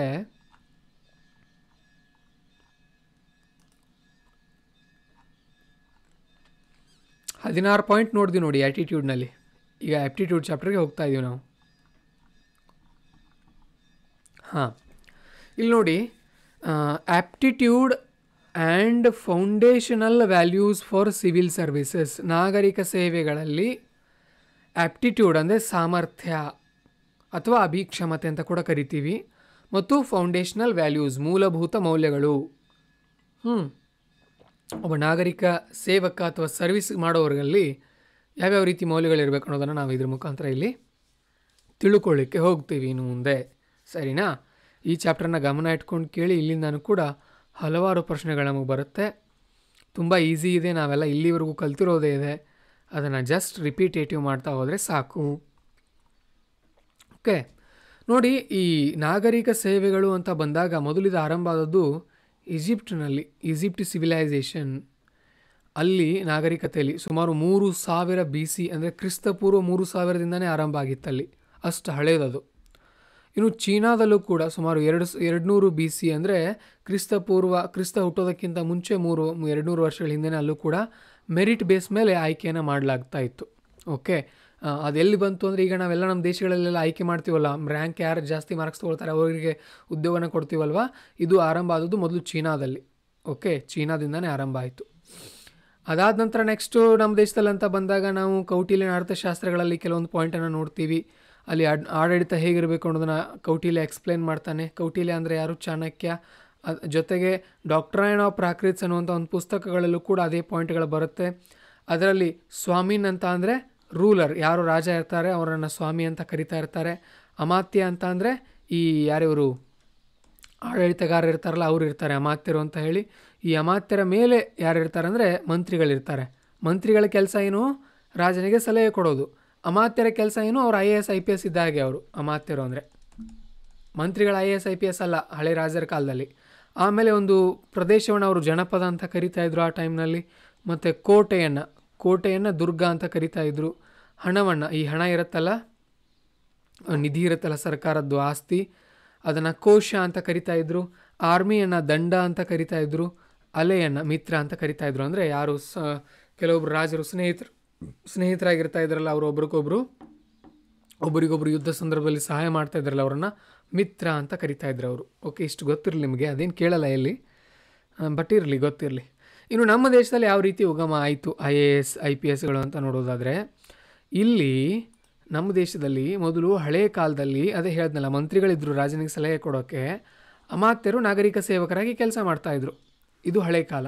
ಇನ್ನು ಮಧ್ಯಯುಗದಲ್ಲಿ ಬಂದಾಗ ದೆಹಲಿ ಸುಲ್ತಾನರು ಮತ್ತು ಮೊಘಲರು ನಮ್ಮ ದೇಶದಲ್ಲಿ ಮನ್ಸಬ್ದಾರಿ ಸಿಸ್ಟಮನ್ನು ಆರಂಭ ಮಾಡಿದ್ರು. ಓಕೆ. ಮನ್ಸಬ್ದಾರಿ ಸಿಸ್ಟಮ್ ಅಂತ ಬಂತು. ನಾವು ಅದನ್ನು ಮಧ್ಯಯುಗದ ಇತಿಹಾಸವನ್ನು ಕಲಿಯುವಾಗ ಕಲಿತೀವಿ. ಅದು ಮುಂದೆ ಬ್ರಿಟಿಷ್ ಕಾಲದಲ್ಲಿ ಸ್ವಲ್ಪ ಸುಧಾರಣೆ ಆಯಿತು. ಆಮೇಲೆ ನಮ್ಮ ದೇಶದಲ್ಲಿ ಮೆಕಾಲೆ ರಿಪಾರ್ಟ್ ರಿಪೋರ್ಟ್ ಮುಖಾಂತರ ಬ್ರಿಟಿಷರ ಸಂದರ್ಭದಲ್ಲಿ best and brightest would be Indian civil service. ಯಾರು ತುಂಬ ಟ್ಯಾಲೆಂಟೆಡ್ ಇರ್ತಾರೆ, ಬ್ರೈಟ್ ಆಗಿರ್ತಾರೆ ಅಂಥವ್ರನ್ನ ಮಾತ್ರ ಸೇರಿಸ್ಕೊಳ್ಳಾಗಿತ್ತು. ಆಗ ಬಹುಶಃ ಏಜು ಇಪ್ಪತ್ತೊಂದು ಏಜ್ ಲಿಮಿಟ್ ಲಾಸ್ಟ್ ಇರ್ತಾ ಇತ್ತು ಬ್ರಿಟಿಷರ ಕಾಲದಲ್ಲೆಲ್ಲ. ಅಷ್ಟು ಚಿಕ್ಕ ವಯಸ್ಸಿನಲ್ಲೇ I A S, I P ಎಸ್ಗಳಾಗ್ಬಿಡ್ತಾಯಿದ್ರು okay but ಈಗ ನೋಡಿ, ಮೂವತ್ತೆರಡು ಆಗುತ್ತೆ, ಮೂವತ್ತೈದು, ಮೂವತ್ತೇಳು, ಎಷ್ಟೊಂದು ದೀರ್ಘವಾಗಿ ಇಟ್ಟಿದ್ದೀವಿ ನಾವು. ಅಂದರೆ ಶಿಕ್ಷಣ ವ್ಯವಸ್ಥೆನ ನಾವು ಕುಂದಿಸಿದ್ದೀವಿ ಈಗ. ಈಗಿನ ಯುವಕ, ಯುವತಿಯರು ನಮಗೆ ಮೊದಲಿನವರಷ್ಟು ಟ್ಯಾಲೆಂಟೆಡ್ ಇಲ್ಲ ನಾವು, ನಿಜವಾಗ್ಲೂ ಹೇಳ್ತೀನಿ ನಿಮಗೆ. ಯಾಕಂದರೆ ನಾನು ಹಿಂದೆ ಕೂಡ ನಿಮ್ಗೆ ಹೇಳಿದ್ದೀನಿ, ನಮ್ಮ ಕರ್ನಾಟಕದೊಬ್ರು ಯಾರೋ ಕವಿಗಳು ಗೋವಿಂದ ಪಯ್ಯೋ ಅಥವಾ ಇನ್ನೊಬ್ಬರು ಇನ್ನೊಬ್ರು ಇದ್ದಾರೆ ಯಾರೋ ಅವರು ಪಂಜ ಮಂಗೇಶ್ ರಾಯರು ಇವರಿಬ್ಬರಲ್ಲಿ ಒಬ್ರು ಯಾರೋ ನಂಗೆ ಗೊತ್ತಿಲ್ಲ. ಹನ್ನೆರಡು ಭಾಷೆ ಬರ್ತಾ ಇತ್ತು ಅವ್ರಿಗೆ. ಥಿಂಕ್ ಮಾಡಿ. ಹನ್ನೆರಡು ಭಾಷೆ ಕಲಿಯೋದಂದರೆ ಏನು ಸಾಮಾನ್ಯನ? ಅಂತ ಅಷ್ಟೊಂದು ಟ್ಯಾಲೆಂಟೆಡ್ ಇರ್ತಾಯಿದ್ರು ಅವರೆಲ್ಲ. ಅಲ್ವಾ? ಸರಿ. ಇನ್ನು ಈ ಬ್ರಿಟಿಷರ ಕಾಲದಲ್ಲಿ ನೋಡಿ, ಹಳೆ ಕಾಲದಲ್ಲಿ ಆರಂಭ ಆಯಿತು, ಮೊಘಲರ ಕಾಲದಲ್ಲಿ ಬಂತು, ಆಮೇಲೆ ಬ್ರಿಟಿಷರ ಕಾಲದಲ್ಲಿ ಮೆಕ್ಕವಲ ರಿಪಾರ್ಟ್ ಮುಖಾಂತರ ನಮ್ಮ ದೇಶದಲ್ಲಿ ಆರ, ಆರಂಭ ಆಯಿತು. ಹಾಗಾದರೆ ಅದು ಚೆನ್ನಾಗಿದೆಯಾ ಬ್ರಿಟಿಷರ ಸಿಸ್ಟಮು ಅಂತ? ಅಂದರೆ ಇಲ್ಲ, ಅಲ್ಲೂ ಕೂಡ ಕೆಲವೊಂದು ಸಮಸ್ಯೆಗಳು ಕಂಡು ಬರುತ್ತೆ ನಮಗೆ. ಆ ಸಮಸ್ಯೆಗಳು ಈಗಲೂ ಕೂಡ ಮುಂದುವರಿತಾ ಇದೆ I A S, I P ಎಸ್ನಲ್ಲಿ ನಾನು ನಿಮಗೆ ಹಿಂದೆನೇ ಹೇಳಿದ್ದೀನಿ ಏನಂದರೆ I A S, I P S ಅಂದರೆ ಒಂದು ರೀತಿ ಬಾ, ಬಾಸ್ ಇದ್ದ ಹಾಗೆ. ನಿಮ್ಮನ್ನು ಪ್ರಶ್ನೆ ಮಾಡೋರು ಯಾರೂ ಇರಲ್ಲ, ನಿಮಗೆ ತುಂಬ ಪವರ್ ಇರುತ್ತೆ ಅಂತ ಹೇಳಿ. ಆ ಕಾರಣದಿಂದನೇ ಹಲವಾರು ಸಮಸ್ಯೆಗಳು ಬರ್ತಾ ಇದೆ. Okay? I A S, I P S ಅಧಿಕಾರಿಗಳನ್ನ ಯಾರೂ ಪ್ರಶ್ನೆ ಮಾಡಲ್ಲ ಅನ್ನೋ ಒಂದು ಕಾರಣಕ್ಕೇ ಅವರು ಕೆಲವೊಬ್ಬರು ಸರಿಯಾಗಿ ಕೆಲಸಗಳನ್ನ ಮಾಡ್ತಾ ಇಲ್ಲ. ಭ್ರಷ್ಟರಾಗ್ತಾ ಇದ್ದಾರೆ. ತುಂಬ ಭ್ರಷ್ಟರಾಗ್ತಾ ಇದ್ದಾರೆ. ಓಕೆ? ಅದಕ್ಕೋಸ್ಕರ ನೋಡಿ, ಏನಿತ್ತು ಅಂತಂದರೆ ಪಾಯಿಂಟ್ ನಂಬರ್ ಎರಡು ಅಂತ ಹಾಕೊಳ್ಳಿದ್ದಕ್ಕೆ ಪ್ರಾಬ್ಲಮ್ಸ್ ವಿತ್ ಬ್ರಿಟಿಷ್ ಅಡ್ಮಿನಿಸ್ಟ್ರೇಷನ್ ಅಂತ ಹೇಳಿ. Point one evolution of civil service in India ಎರಡನೇದು ಇದು. ಈ ನಮ್ಮ ಭಾರತೀಯ ನ್ಯಾಷನಲ್ ಕಾಂಗ್ರೆಸ್ ಇತ್ತು ಗೊತ್ತಾ? ಭಾರತೀಯ ನ್ಯಾಷನಲ್ ಕಾಂಗ್ರೆಸ್ ಇದು ಹದಿನೆಂಟುನೂರ ಎಂಬತ್ತೈದರಲ್ಲಿ ಆರಂಭ ಆಗಿತ್ತು. ಇವರೇನು ಅಂದ್ಕೊಂಡಿದ್ರು ಯಾವ ಈ ಐ ಸಿ ಎಸ್ ಅಂತ ಕರಿತಾಯಿದ್ರು ಮೊದಲು ಈ I A I A S I P ಎಸ್ಗಳನ್ನು Indian civil service ಅಂತ ಕರಿತಾ ಇದ್ರು. ಈ ಐ ಸಿ ಎಸ್ ಸೇವೆಗೆ ಭಾರತೀಯರು ಸೇರ್ತಾ ಇದ್ರಲ್ಲ, ಇವರಲ್ಲಿ ಭಾರ ದೇಶಪ್ರೇಮಿಗಳು ದೇಶ ಪ್ರೇಮಿಗಳು ಕೂಡ ಕೆಲವೊಬ್ಬರು ಇರ್ತಾಯಿದ್ರು ಆದರೆ ಬಹಳಷ್ಟು ಜನ ಬ್ರಿಟಿಷರ ಪರವಾಗಿ ಕೆಲಸ ಮಾಡ್ತಾಯಿದ್ರು ದೇಶಪ್ರೇಮಿಗಳು ಅಂತ ಬಂದಾಗ ಸುಭಾಷ್ ಚಂದ್ರ ಬೋಸ್ರಂಥವ್ರು ಆಮೇಲೆ ಯಾರವರು, ಅರವಿಂದ್ ಘೋಷ್ರಂಥವ್ರು ಇವರು ಏನು ಮಾಡ್ತಾಯಿದ್ರು ಎಕ್ಸಾಮ್ ಪಾಸಾಗಿ ರಾಜೀನಾಮೆ ಕೊಟ್ಟು ಬರ್ತಾಯಿದ್ರು ಬಟ್ ಮ್ಯಾಕ್ಸಿಮಮ್ ಎಲ್ಲರೂ ಕೂಡ ಬ್ರಿಟಿಷ್ ಸರ್ಕಾರದ ಪರವಾಗಿಯೇ ಕೆಲಸ ಮಾಡ್ತಾಯಿದ್ರು ಹಾಗಾಗಿ ನ್ಯಾಷನಲ್ ಇಂಡಿಯನ್ ನ್ಯಾಷನಲ್ ಕಾಂಗ್ರೆಸ್ನವ್ರು ಏನು ಅಂದ್ಕೊಂಡಿದ್ರು ಇದನ್ನು ಕ್ಯಾನ್ಸಲ್ ಮಾಡಿಬಿಡೋಣ ನಮ್ಮ ದೇಶಕ್ಕೆ ಸ್ವಾತಂತ್ರ್ಯ ಸಿಕ್ಕ ನಂತರ ಇದೊಂದು ವ್ಯವಸ್ಥೆಯನ್ನು ನಾವೇನು ಮಾಡಿಬಿಡೋಣ ತೆಗೆದು ಬಿಡೋಣ ಈ ಸಿಸ್ಟಮ್ ಬೇಡ ನಮಗೆ ಅಂತ ಅಂದ್ಕೊಂಡಿದ್ರು ಆದರೆ ಅದು ಮತ್ತೆ ಬರೀ ಮುಂದುವರ್ಕೊಂಡು ಬರಲಿಲ್ಲ ಅದು ಓಕೆ ಅದು ಮತ್ತಷ್ಟು ಪ್ರಾಸ್ಪರಸ್ ಆಯಿತು, ಮತ್ತಷ್ಟು ಶ್ರೀಮಂತ ಆಯಿತು. ಈಗಲೂ ಕೂಡ ನೋಡಿ ನೀವು ನಮ್ಮ ದೇಶದಲ್ಲಿ I A S I P S ಅಂದ ತಕ್ಷಣ ಜನರ ಕಿವಿಗಳು ನೆಟ್ಟಗಾಗತ್ತೆ. ನೀವು ಹೇಳಿ ಅವರಿಗೆ, ಬರೀ ನಾನು ಐ ಎ ಎಸ್ ಓದ್ತಾ ಇದ್ದೀನಿ ಅಂತ ಹೇಳಿ. ಹೌದಾ ಅಂತಾರೆ ಅವರು ಅಲ್ವಾ? ಆ ರೀತಿಯಾಗಿದೆ ಈಗ. ಓಕೆ ಅದು ಆ್ಯಕ್ಚುಲಿ ಸೇವೆ ಇನ್ನೂ ಚೆನ್ನಾಗಿ ಆಗಬೇಕಾಗಿತ್ತು ಬಟ್ ಸೇವೆ ಅನ್ನೋದಕ್ಕಿಂತ ಅಧಿಕಾರ ತುಂಬ ಪವರ್ಫುಲ್ ಆಗಿದೆ ಐ ಎ ಎಸ್ ಅಧಿ ಐ ಪಿ ಎಸ್ ಅಧಿಕಾರಿಗಳಿಗೆ. ಓಕೆ ನೆಹರೂರನ್ನು ಅವ್ರ ಫ್ರೆಂಡ್ ಯಾರೋ ಒಬ್ರು ಕೇಳಿದ್ರಂತೆ ಪ್ರೈವೇಟ್ ಮೀಟಿಂಗ್ನಲ್ಲಿ ನೆಹರು ಅವರೇ ನಿಮ್ಮ ಒಂದು ಪ್ರಧಾನಮಂತ್ರಿಗಳಾಗಿ ನೀವು ಬಹುಶಃ ಒಂದು ಹತ್ತು ಹದಿನೈದು ವರ್ಷ ಸೇವೆ ಸಲ್ಲಿಸಿದಿರಿ ದೇಶಕ್ಕೆ. ನಿಮ್ಮ ಒಂದು ಏನಾದರೂ ಒಂದು ಪ್ರೊ ಫೇಲ್ ಆದ್ರಿ ಇದರಲ್ಲಿ ಅಂತ ನೀವು ಏನಾದರೂ ಅಂದ್ಕೊಂಡ್ರ ಅಂತ ಕೇಳಿದಾಗ ನೆಹರು ಹೇಳಿದ್ರಂತೆ I could not change the administration it is still colonial administration ನಾವು ನಮ್ಮ ದೇಶದಲ್ಲಿ ಆಡಳಿತವನ್ನು ಬದಲಾಯಿಸೋಕ್ಕಾಗಲಿಲ್ಲ ನಾವು ಬ್ರಿಟಿಷರನ್ನು ಹೊರಗೆ ಹಾಕಿದರೂ ಕೂಡ ಆಡಳಿತ ವ್ಯವಸ್ಥೆ ಬ್ರಿಟಿಷರು ಏನು ಸಿಸ್ಟಮ್ ಮಾಡಿ ಹೋದರೂ ಅದೇ ಸಿಸ್ಟಮ್ ಇನ್ನೂ ಮುಂದುವರಿತು. ಇದೇ ಒಂದು ನಂದು ನನ್ನಿಂದ ಬದಲಾಯಿಸೋಕ್ಕಾಗಲಿಲ್ಲ ಅಂತ ಹೇಳಿ ನೆಹರು ಅವರು ಒಂದು ಕಡೆ ಹೇಳ್ತಾರಂತೆ. ಓಕೆ ಮತ್ತು ಈ I A S I P ಎಸ್ಗಳು ಇರಲಿ ಅನ್ನೋದಕ್ಕೆ ಹೆಚ್ಚಿನ ಒಂದು ಒಲವನ್ನು ತೋರಿಸಿದವರು ವಲ್ಲಭಾಯ್ ಪಟೇಲ್ ಅವರು. ಓಕೆ ವಲ್ಲಭಾಯ್ ಪಟೇಲ್ ಅವರು ಏನು ಮಾಡಿದ್ರು? ಇದಕ್ಕೆ ಪರ್ಮಿ ಏನು ಕೊಟ್ಟರು ಬೆಂಬಲವನ್ನು ಕೊಡ್ತಾರೆ I A S I P ಎಸ್ಗೆ ಓಕೆ, ಯಾಕಂತ ಅಂದರೆ ದೇಶವನ್ನು ಒಗ್ಗಟ್ಟಿನಲ್ಲಿ ಇಡೋಕೆ ಇವರು ಬೇಕೇ ಬೇಕು ಅಂತ ಅವ್ರು ಮಾಡಿದ್ರು. ಇಲ್ಲ ಅಂದರೆ ಏನಾಗುತ್ತೆ? ಬರೀ ಕೆ ಎ ಎಸ್ ಇದ್ರೆ ಏನಾಗುತ್ತೆ? ಬರೀ ಕರ್ನಾಟಕದಲ್ಲಿ ನಾವು ಆಫೀಸರ್ಗಳನ್ನ ಮಾಡ್ಕೊಂಡು ಬಿಡ್ತೀವಿ. ನಮ್ಮ ರಾಜ್ಯದವ್ರು ಮತ್ತೊಂದು ಕಡೆ ಹೋಗಿ ಕೆಲಸ ಮಾಡೋದಿಲ್ಲ. ದೇಶದಲ್ಲಿ ಸಾಮರಸ್ಯ ಬರೋದಿಲ್ಲ. ಆದರೆ I A S I P S ಇದ್ದಾಗ ಅವ್ರ ದೇಶದ ಯಾವುದಾದ್ರೂ ರಾಜ್ಯದಲ್ಲಿ ಹೋಗಿ ಕೆಲಸ ಮಾಡ್ಬೋದು. ಆಗ ಸಾಮರಸ್ಯ ಬರುತ್ತೆ. ದೇಶ ಒಡೆಯೋ ಸಾಧ್ಯತೆಗಳು ತುಂಬ ಕಡಿಮೆ ಇರುತ್ತೆ. ಒಗ್ಗಟ್ಟಿರುತ್ತೆ ದೇಶದಲ್ಲಿ. ಓಕೆ, ಆ ಕಾರಣಕ್ಕೆ ಹಾಗೆ ಮಾಡಿದ್ರು. ಹಾಂ. ಓಕೆ ಈಗ I A S I P ಎಸ್ಗಳು ಆಡಳಿತ ವ್ಯವಸ್ಥೆಯಲ್ಲಿ ಕೆಲವೊಂದು ಸಮಸ್ಯೆಗಳಿದೆ ಅಂತ ನಾನು ಹೇಳಿದೆ. ಹಾಗಾದರೆ ಏನೇನಾಗಿದೆ ಸಮಸ್ಯೆಗಳು ಅಂತ ನೋಡೋದಾದರೆ, ಇಲ್ಲಿ ನೋಡಿ ಇನ್ನೂ ಕೂಡ ನಮ್ಮ ದೇಶದಲ್ಲಿ ಇಷ್ಟೊಂದು ಎಫಿಷಿಯೆಂಟಾಗಿ I A S I P S ಅಧಿಕಾರಿಗಳಿದ್ದರೂ ಕೂಡ, ವ್ಯವಸ್ಥೆ ಇದ್ದರೂ ಕೂಡ ಬಡತನದಿಂದ ಹೊರಗೆ ಬರೋಕ್ಕಾಗ್ತಾ ಇಲ್ಲ ನಮಗೆ, ಅಲ್ವಾ?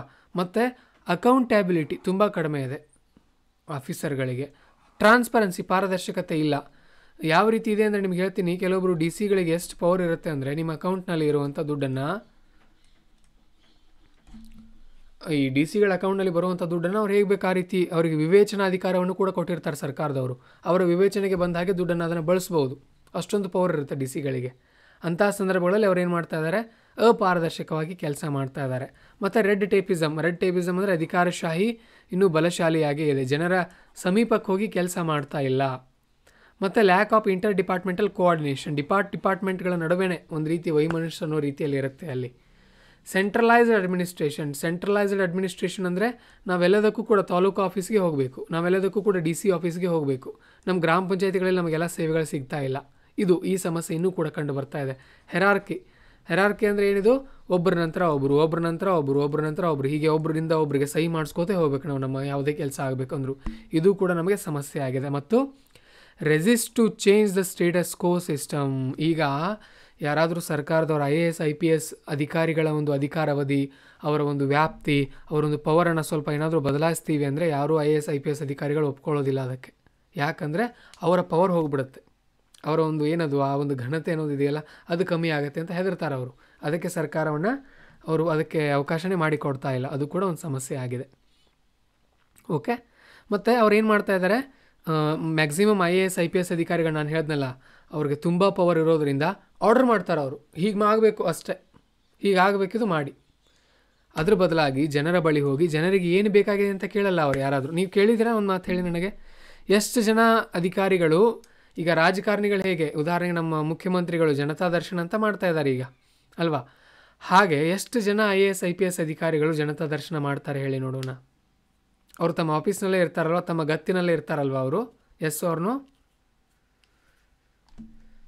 ಕಮಾಂಡ್ ಮಾಡ್ತಾರೆ ಅವರು, ಕೆಳಗಿನ ಅಧಿಕಾರಿಗಳು ಹೀಗಾಗಬೇಕು, ನನಗೆಲ್ಲ ಗೊತ್ತಿದೆ, ನೀವು ಮಾಡಿ. ನಾನು ಓದ್ಕೊಂಡು ಬಂದಿದ್ದೀನಿ ನಾನು I A S exam pass ಆಗಿದ್ದೀನಿ, ನನಗೆಲ್ಲ ಗೊತ್ತಿದೆ, ನೀವು ಇದನ್ನು ಪಾಲಿಸ್ಬೇಕು ಅನ್ನೋ ರೀತಿಯಲ್ಲಿ ಅವರು ಬಿಹೇವ್ ಮಾಡ್ತಾ ಇರ್ತಾರೆ.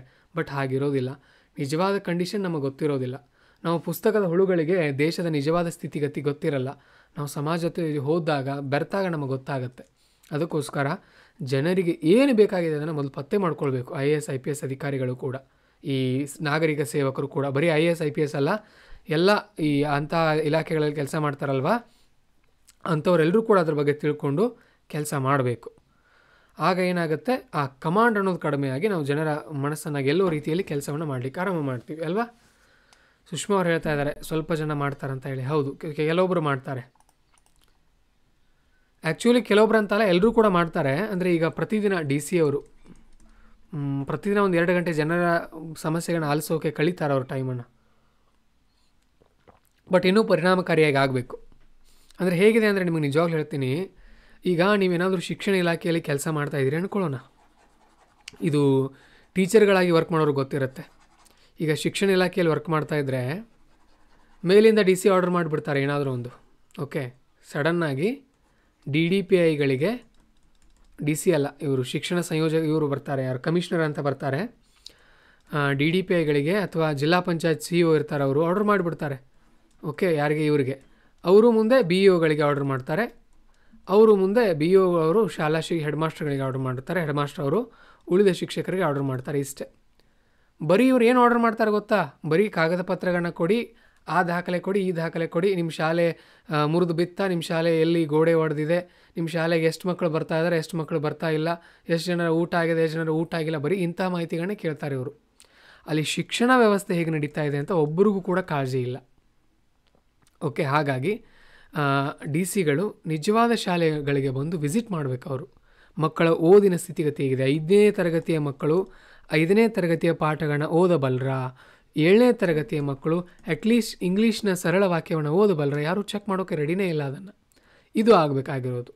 ಓಕೆ ಈ ಶಿಕ್ಷಕರಿಗೆ ಏನಾಗಿದೆ ನಾವು? ಓದು ಕಲಿಸೋಕೆ ಬಿಡ್ತಾ ಇಲ್ಲ. ಇದು ಒಂದು ಎಕ್ಸಾಂಪಲ್ ಮಾತ್ರ. ಹೀಗೆ ಎಲ್ಲ ಡಿಪಾರ್ಟ್ಮೆಂಟ್ನಲ್ಲೂ ಕೂಡ. ನಾವೇನು ಅಂದ್ಕೊಳ್ತೀವಿ ಈ ಸರ್ಕಾರಿ ನೌಕರಿ ತುಂಬ ಅನುಕೂಲ ಅಂದ್ಕೊಳ್ತೀವಿ ನಿಜವಾಗ್ಲೂ ಹೇಳ್ತೀನಿ, ಇವತ್ತಿನ ಕಾಲದಲ್ಲಿ ಸರ್ಕಾರಿ ನೌಕರಿನೇ ತುಂಬ ಡೇಂಜರಸ್ ಅಷ್ಟೊಂದು ಒತ್ತಡ ಇದೆ ಅಲ್ಲಿ. ಸರ್ಕಾರಿ ನೌಕರರಿಗೆ ಗೊತ್ತಿರುತ್ತೆ. ಬಹುಶಃ ಇಲ್ಲಿದ್ದಾರೆ ಸರ್ಕಾರಿ ನೌಕರರು. ಹೌದಲ್ವಾ? ಎಸ್ ಆರ್ ನೋ ಅಂತ ಹೇಳಿ ನೋಡೋಣ. ತುಂಬ ಒತ್ತಡ ಅಲ್ವಾ ಸರ್ಕಾರಿ ನೌಕರಿ ಈಗ? ಸಿದ್ದರಾಮಯ್ಯ ಹೇಳ್ತಾ ಇದ್ದಾರೆ ನೋಡಿ rare officers are conducting Janata ದರ್ಶನ, ತುಂಬ ಕಡಿಮೆ. ಹಾಂ.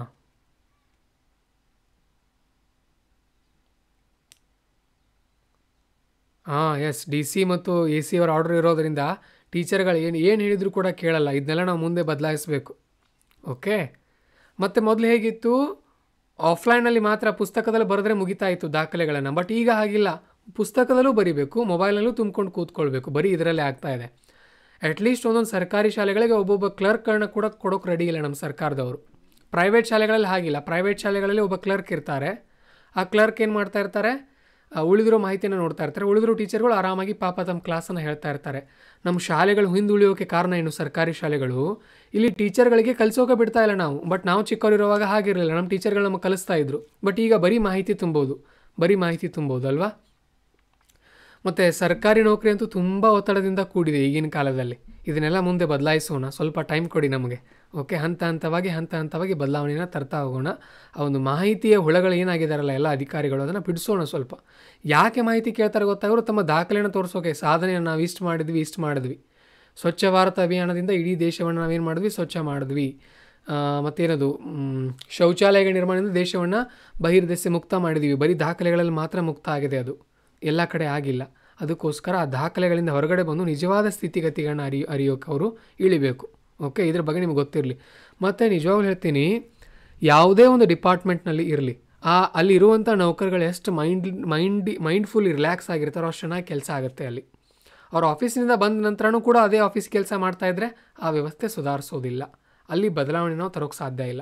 ಅದಕ್ಕೆ ನೋಡಿ ನೀವು, ಪ್ರೈವೇಟ್ ಕಂಪ್ನಿಗಳು ಎಂ ಎನ್ ಸಿ ಕಂಪ್ನಿಗಳಂತ ಇರುತ್ತಲ್ಲ, ವಾರದಲ್ಲಿ ಐದೈದು ದಿನ ಕೆಲಸ ಇರುತ್ತೆ ಅಲ್ಲಿ. ವಾರದಲ್ಲಿ ಐದು ದಿನ ಮಾತ್ರ ಕೆಲಸ, ಉಳಿದಿರೋ ದಿನ ಕೆಲಸ ಇರಲ್ಲ ಅಲ್ಲಿ. ಎರಡು ದಿನ ರಜೆ ಕೊಡ್ತಾರೆ ಅವ್ರು ಫುಲ್ ಓಕೆ ಬರೀ ಮಾಹಿತಿ ಕೇಳ್ತಾರೆ. ನಮ್ಮ ಫಾದರ್ ಅವರು ಕೂಡ ಗೌರ್ಮೆಂಟ್ ಪ್ರೈಮರಿ ಹೆಡ್ ಮಾಸ್ಟ್ರಾಗಿ ವರ್ಕ್ ಮಾಡ್ತಾರೆ. ನೋಡ್ತಾ ಇರ್ತೀನಿ ನಾನು. ತುಂಬ ಕಷ್ಟ ಅದೆಲ್ಲ. ಬಟ್ ಡಿ ಸಿಗಳಿಗೆ ಹಾಗಿರಲ್ಲ. ಡಿ ಸಿಗಳೇನು ಆರಾಮಾಗಿ ಕುರ್ಚಿ ಮೇಲೆ ಕೂತ್ಕೊಂಡು ಆರ್ಡ್ರ್ ಮಾತ್ರ ಮಾಡೋದು. ಹಾಗಾಗಿ ಅವ್ರು ಏನು ಮಾಡ್ತಾರೆ ಎ ಸಿ ರೂಮ್ನಲ್ಲಿ ಕೂತ್ಕೊಂಡಿರ್ತಾರೆ. ಅದರ ನಿಜವಾದ ಸ್ಥಿತಿಗತಿ ಅರ್ಥ ಇರೋದಿಲ್ಲ. ಬರೀ ಮಾಹಿತಿ ಕೊಡಿ ಮಾಹಿತಿ ಕೊಡಿ ಮಾಹಿತಿ ಕೊಡಿ ಮಾಹಿತಿ ಕೊಡಿ. ಹಾಗಾಗಬಾರ್ದು ಅದು ವೇ ವೇಸ್ಟ್ ಅದು. ಬರೀ ಮಾಹಿತಿ ತೊಗೊಂಡು ಏನು ಮಾಡೋದು? ಮತ್ತು ಇನ್ನೊಂದು ಏನದು? ವಿಶ್ವಸಂಸ್ಥೆ ಕೆಲವೊಂದು ಯೋಜನೆಗಳನ್ನ ಹಾಕೊಳ್ತಾ ಇರುತ್ತೆ. ಯು ಎನ್ ಯುನೈಟೆಡ್ ನೇಷನ್ಸು ಅದಕ್ಕೂ ಕೂಡ ತೋರಿಸ್ಕೊಳ್ಬೇಕಲ್ವ? ಹಾಗಾಗಿ ಮಾಹಿತಿ ಕಲೆಕ್ಷನ್ ಮಾಡ್ತಾರೆ. ಇದು ಪ್ರೈಮರಿ ಟೀಚರ್ಗಳು ಒಳ್ಳೆಯದು ಇನ್ನೊಬ್ರು ಅಂಗನವಾಡಿ ಟೀಚರ್ಗಳಂತ ಬರ್ತಾರೆ. ಅವ್ರ ಗತಿಯನ್ನು ನೀವೇನಾದರೂ ಕೇಳಿದರೆ ಯಾರೂ ಕೂಡ ಅನುಭವಿಸ್ಬಾರ್ದು. ಅಷ್ಟು ತೊಂದರೆ ಪಾಪ ಅವ್ರಿಗೆ. ಓಕೆ ಇತ್ತ ಮಕ್ಕಳಿಗೆ ಬೆಳಗ್ಗೆ ಹತ್ತರಿಂದ ಸಂಜೆ ನಾಲ್ಕರವರೆಗೂ ಕ್ಲಾಸ್ ತೊಗೊಳ್ಬೇಕಂತೆ. ಆ ನಾಲ್ಕರಲ್ಲಿ ನೋಡಿ ಮಧ್ಯಾಹ್ನ ಒಂದು ಗಂಟೆಯಿಂದ ಸಂಜೆ ನಾಲ್ಕು ಗಂಟೆವರೆಗೂ ಅವ್ರನ್ನ ಮಕ್ಕಳನ್ನ ಮಲಿಸ್ಬೇಕಂತೆ. ಆ ಮಕ್ಕಳಿಗೆ ಮೊಟ್ಟೆಯನ್ನು ಕೊಡಬೇಕು. ಮೊಟ್ಟೆ ಆಫೀಸಿಂದ ಸಪ್ಲೈ ಆಗಲಿಲ್ಲ ಅಂದರೆ ಇವರೇ ಕೊಂಡ್ಕೊಂಡು ಕೊಡಬೇಕು. ಆಮೇಲೆ ಊರಲ್ಲಿ ಯಾರೇ ಒಂದು ಬಾಣಂತಿಯರಿಗೆ ಕರೆದು ಊಟ ಕೊಡಬೇಕು. ಆಮೇಲೆ ಯಾರೇ ಗರ್ಭಿಣಿ ಆದರೂ ಅಥವಾ ಡೆಲಿವರಿ ಆದರೂ ಅದ್ರ ಬಗ್ಗೆ ಮಾಹಿತಿಯನ್ನು ಕೊಡಬೇಕು. ಗೃಹಲಕ್ಷ್ಮಿ ಯೋಜನೆ ಬಗ್ಗೆ ಮಾಹಿತಿನೂ ಕೂಡ ಇವರೇ ಕೊಡಬೇಕು. ವೋಟರ್ ಐ ಡಿ ಬಗ್ಗೆ ಕೂಡ ಮಾಹಿತಿಯನ್ನು ಇವರೇ ಕೊಡಬೇಕು. ಅಲ್ವಾ?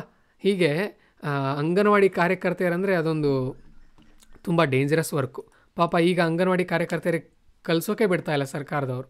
ನಾವು ಚಿಕ್ಕವರಿರುವಾಗ ಅಂಗನವಾಡಿಗೆ ಹೋದರೆ ನಮ್ಮ ಕತೆ ಹೇಳ್ತಾ ಇದ್ರು ನಮ್ಮ ಟೀಚರು. ಅದೇ ಟೀಚರ್ ಈಗ ಬರ್, ಸಣ್ಣ ಮಕ್ಕಳ ಥರ ಬರ್ಕೊಂಡು ಕೂತಿರ್ತಾರೆ. ನಮ್ಮ ಮನೆ ಮುಂದೆನೇ ಇದ್ದಾರೆ ಅವರು. ಸಣ್ಣ ಮಕ್ಕಳ ಥರ ಬರ್ಕೊಂಡು ಕೂತಿರ್ತಾರೆ. ನೋ ಹೋಮ್ವರ್ಕ್ ಮಾಡ್ತಾರೆ ಪ್ರತಿದಿನ ಮೂರ್ನಾಲ್ಕು ಗಂಟೆ ಅವ್ರ ಬುಕ್ನಲ್ಲಿ ಬಾಯಿ ಮಾಹಿತಿ ತುಂಬೋದು ಮಾಹಿತಿ ತುಂಬೋದು. ಓಕೆ ಈ ರೀತಿ ನಮ್ಮ ಭಾರತ ಏನಾಗ್ತಾ ಇದೆ?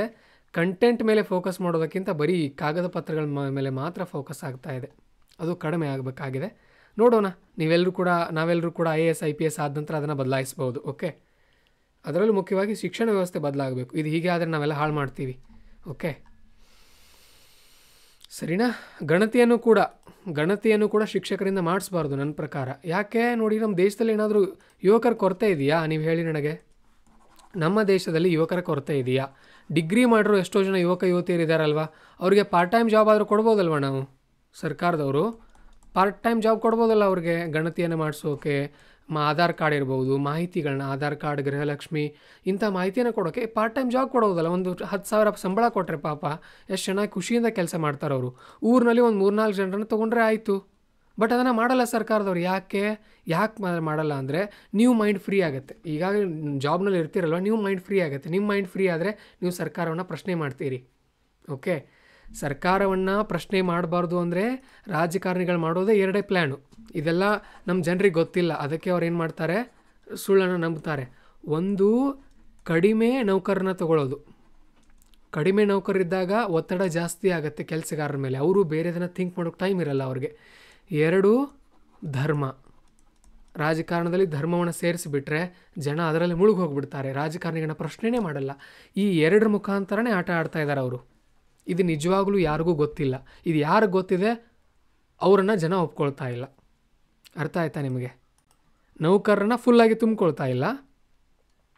ಇನ್ನೂ ಉಳಿದಿರೋ ಜನರಿಗೆ ಧರ್ಮವನ್ನು ಹುಚ್ಚನ್ನು ಹಬ್ಬಿಸಿಬಿಟ್ಟಿದ್ದಾರೆ. ಆ ಜಾತಿ, ಈ ಜಾತಿ ಅಂತ ಹೇಳಿ. ಹೀಗಾಗಿ ರಾಜಕಾರಣಿಗಳ ಬಗ್ಗೆ ಜನರಿಗೆ ಅರ್ಥನೇ ಆಗ್ತಾ ಇಲ್ಲ. ಈ ಸಿಸ್ಟಮ್ ಬದಲಾಯ್, ಬದಲಾಗಬೇಕು ಅಂದರೆ ಮೊದಲು ಒಳ್ಳೆ I A S, I P S ಆಫೀಸರ್ಗಳು ತಯಾರಾಗಬೇಕು. ಇವರು ಸ್ಟ್ರಾಂಗ್ ಆಗಿದ್ದರೆ ರಾಜಕಾರಣಿಗಳು ಹೆದರ್ತಾರೆ ಇವರಿಗೆ. ತಾನಾಗೆ ಒಳ್ಳೆ ಕೆಲಸಗಳು ಆರಂಭ ಆಗುತ್ತೆ. ಅದಾದ ನಂತರ ನಿಧಾನವಾಗಿ ರಾಜಕೀಯ ವ್ಯವಸ್ಥೆಯಲ್ಲೂ ಕೂಡ ಬದಲಾವಣೆ ಬರಬೇಕು. ಬದಲಾವಣೆಯನ್ನು ತರಬಹುದು ಈಗ ಉದಾಹರಣೆ ಟಿ ಎನ್ ಶೇಷನ್ ಅಂತ ಹೇಳಿದ್ನಲ್ಲ ನಿಮಗೆ. ಅವ್ರು ಎಷ್ಟು ಪವರ್ಫುಲ್ ಇದ್ರಂದರೆ ಅವ್ರ ಬಗ್ಗೆ ನೀವು ನೋಡಬೇಕು. ಎಲ್ಲಾದರೂ ಮಾಹಿತಿ ಸಿಕ್ಕರೆ ಓದ್ಕೊಳ್ಳಿ. ಟಿ ಎನ್ ಶೇಷನ್ ಅಂತ ಹೇಳಿ ಇವರು ಮಾಜಿ I P, I A S ಅಧಿಕಾರಿ ಶೇಷನ್. ಐ ಎ ಎಸ್ ಅಧಿಕಾರಿ ಇವರು. ಯಾರಿಗೂ ಕೂಡ ಭಕ್ತಿರಲಿಲ್ಲ ಅವರು. ಅವ್ರಿಗೆ ಏನು ಬೇಕೋ ಅದೇ ಕೆಲಸ ಮಾಡೋದು. ಚುನಾವಣಾ ಆಯೋಗದ ಮುಖ್ಯಸ್ಥರಾಗಿದ್ದರು ಅವರು. ಆ್ಯಕ್ಚುಲಿ ಅವರ ಆಶೀರ್ವಾದದಿಂದನೇ ನಮ್ಮ ಚುನಾವಣಾ ಆಯೋಗ ಇನ್ನೂ ಇಷ್ಟು ಚೆನ್ನಾಗಿ ಕೆಲಸ ಮಾಡ್ತಾ ಇದೆ.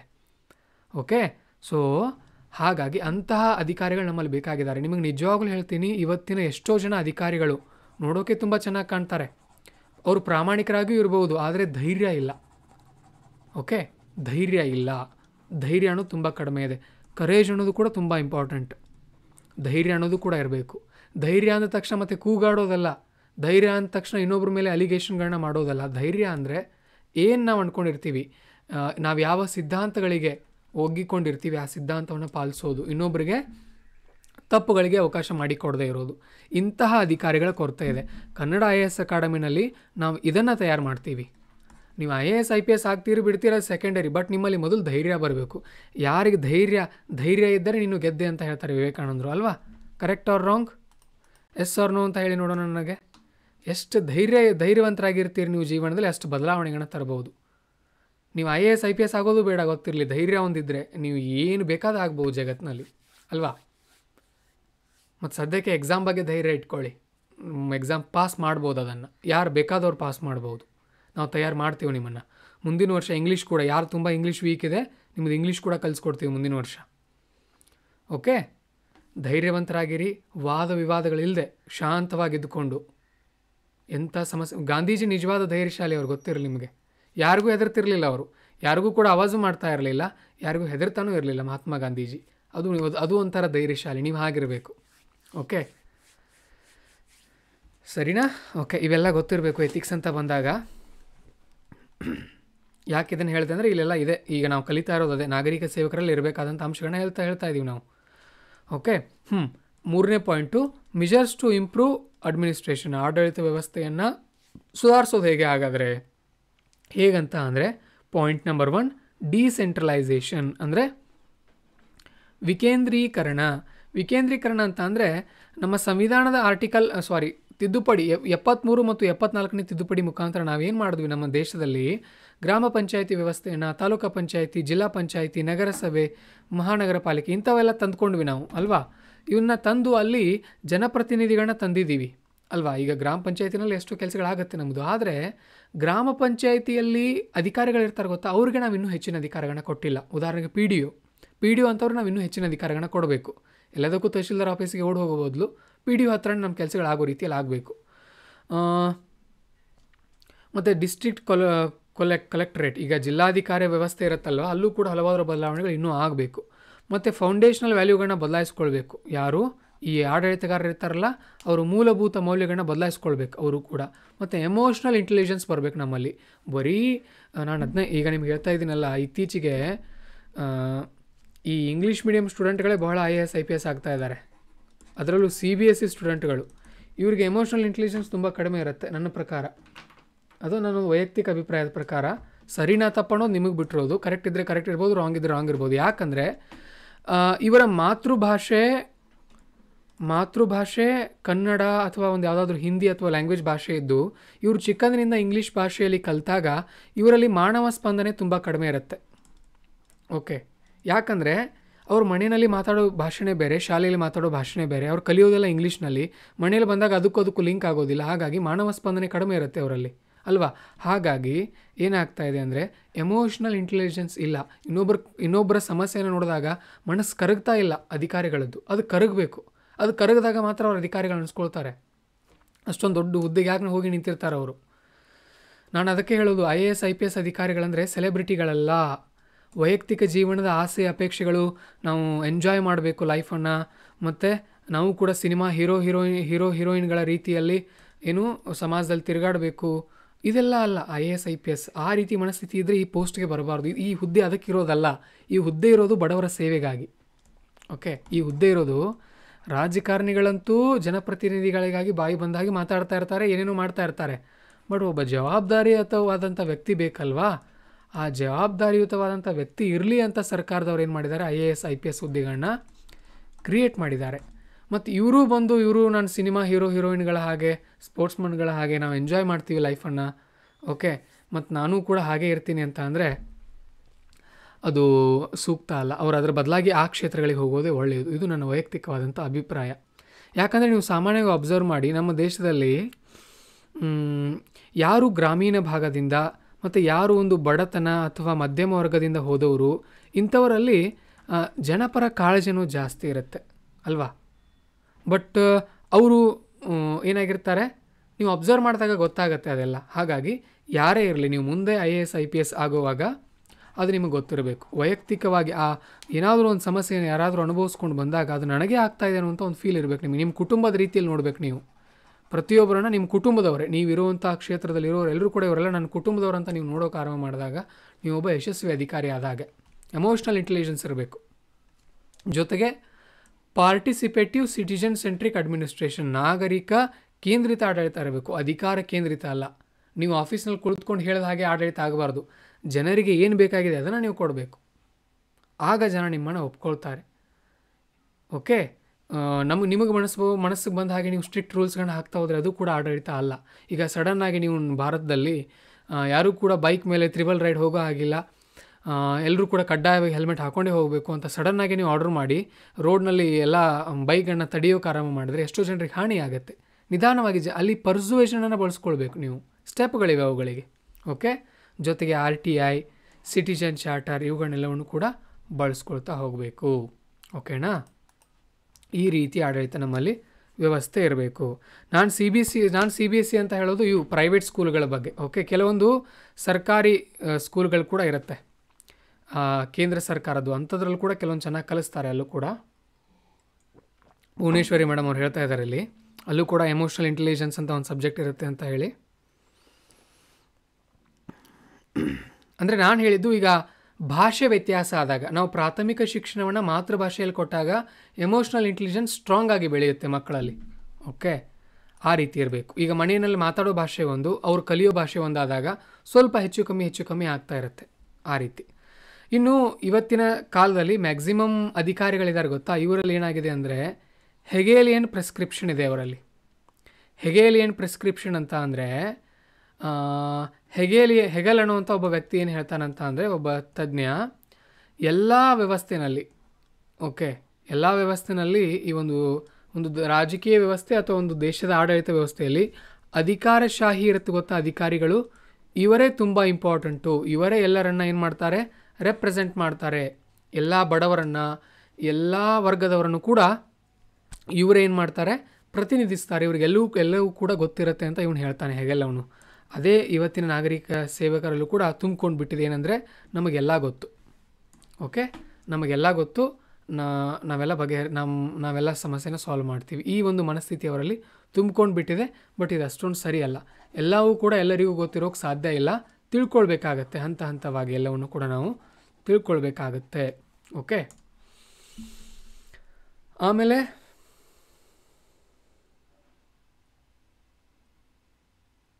ಹ್ಞೂ ನೋಡಿ, ನಮ್ಮ ನಮ್ಮ ಭಾರತದಲ್ಲಿ civil ಸರ್ವಿಸ್ಗಳಿದೆಯಲ್ಲ, I A S, I P ಎಸ್ಗಳು ಇಂತಹ ಹುದ್ದೆಗಳು, ಸಮಸ್ಯೆ ಏನಿದೆ ಅಂದರೆ ಇಲ್ಲಿ ತುಂಬ ಸುಲಭವಾಗಿ ಕೆಲಸ ನಡೆಯುತ್ತೆ.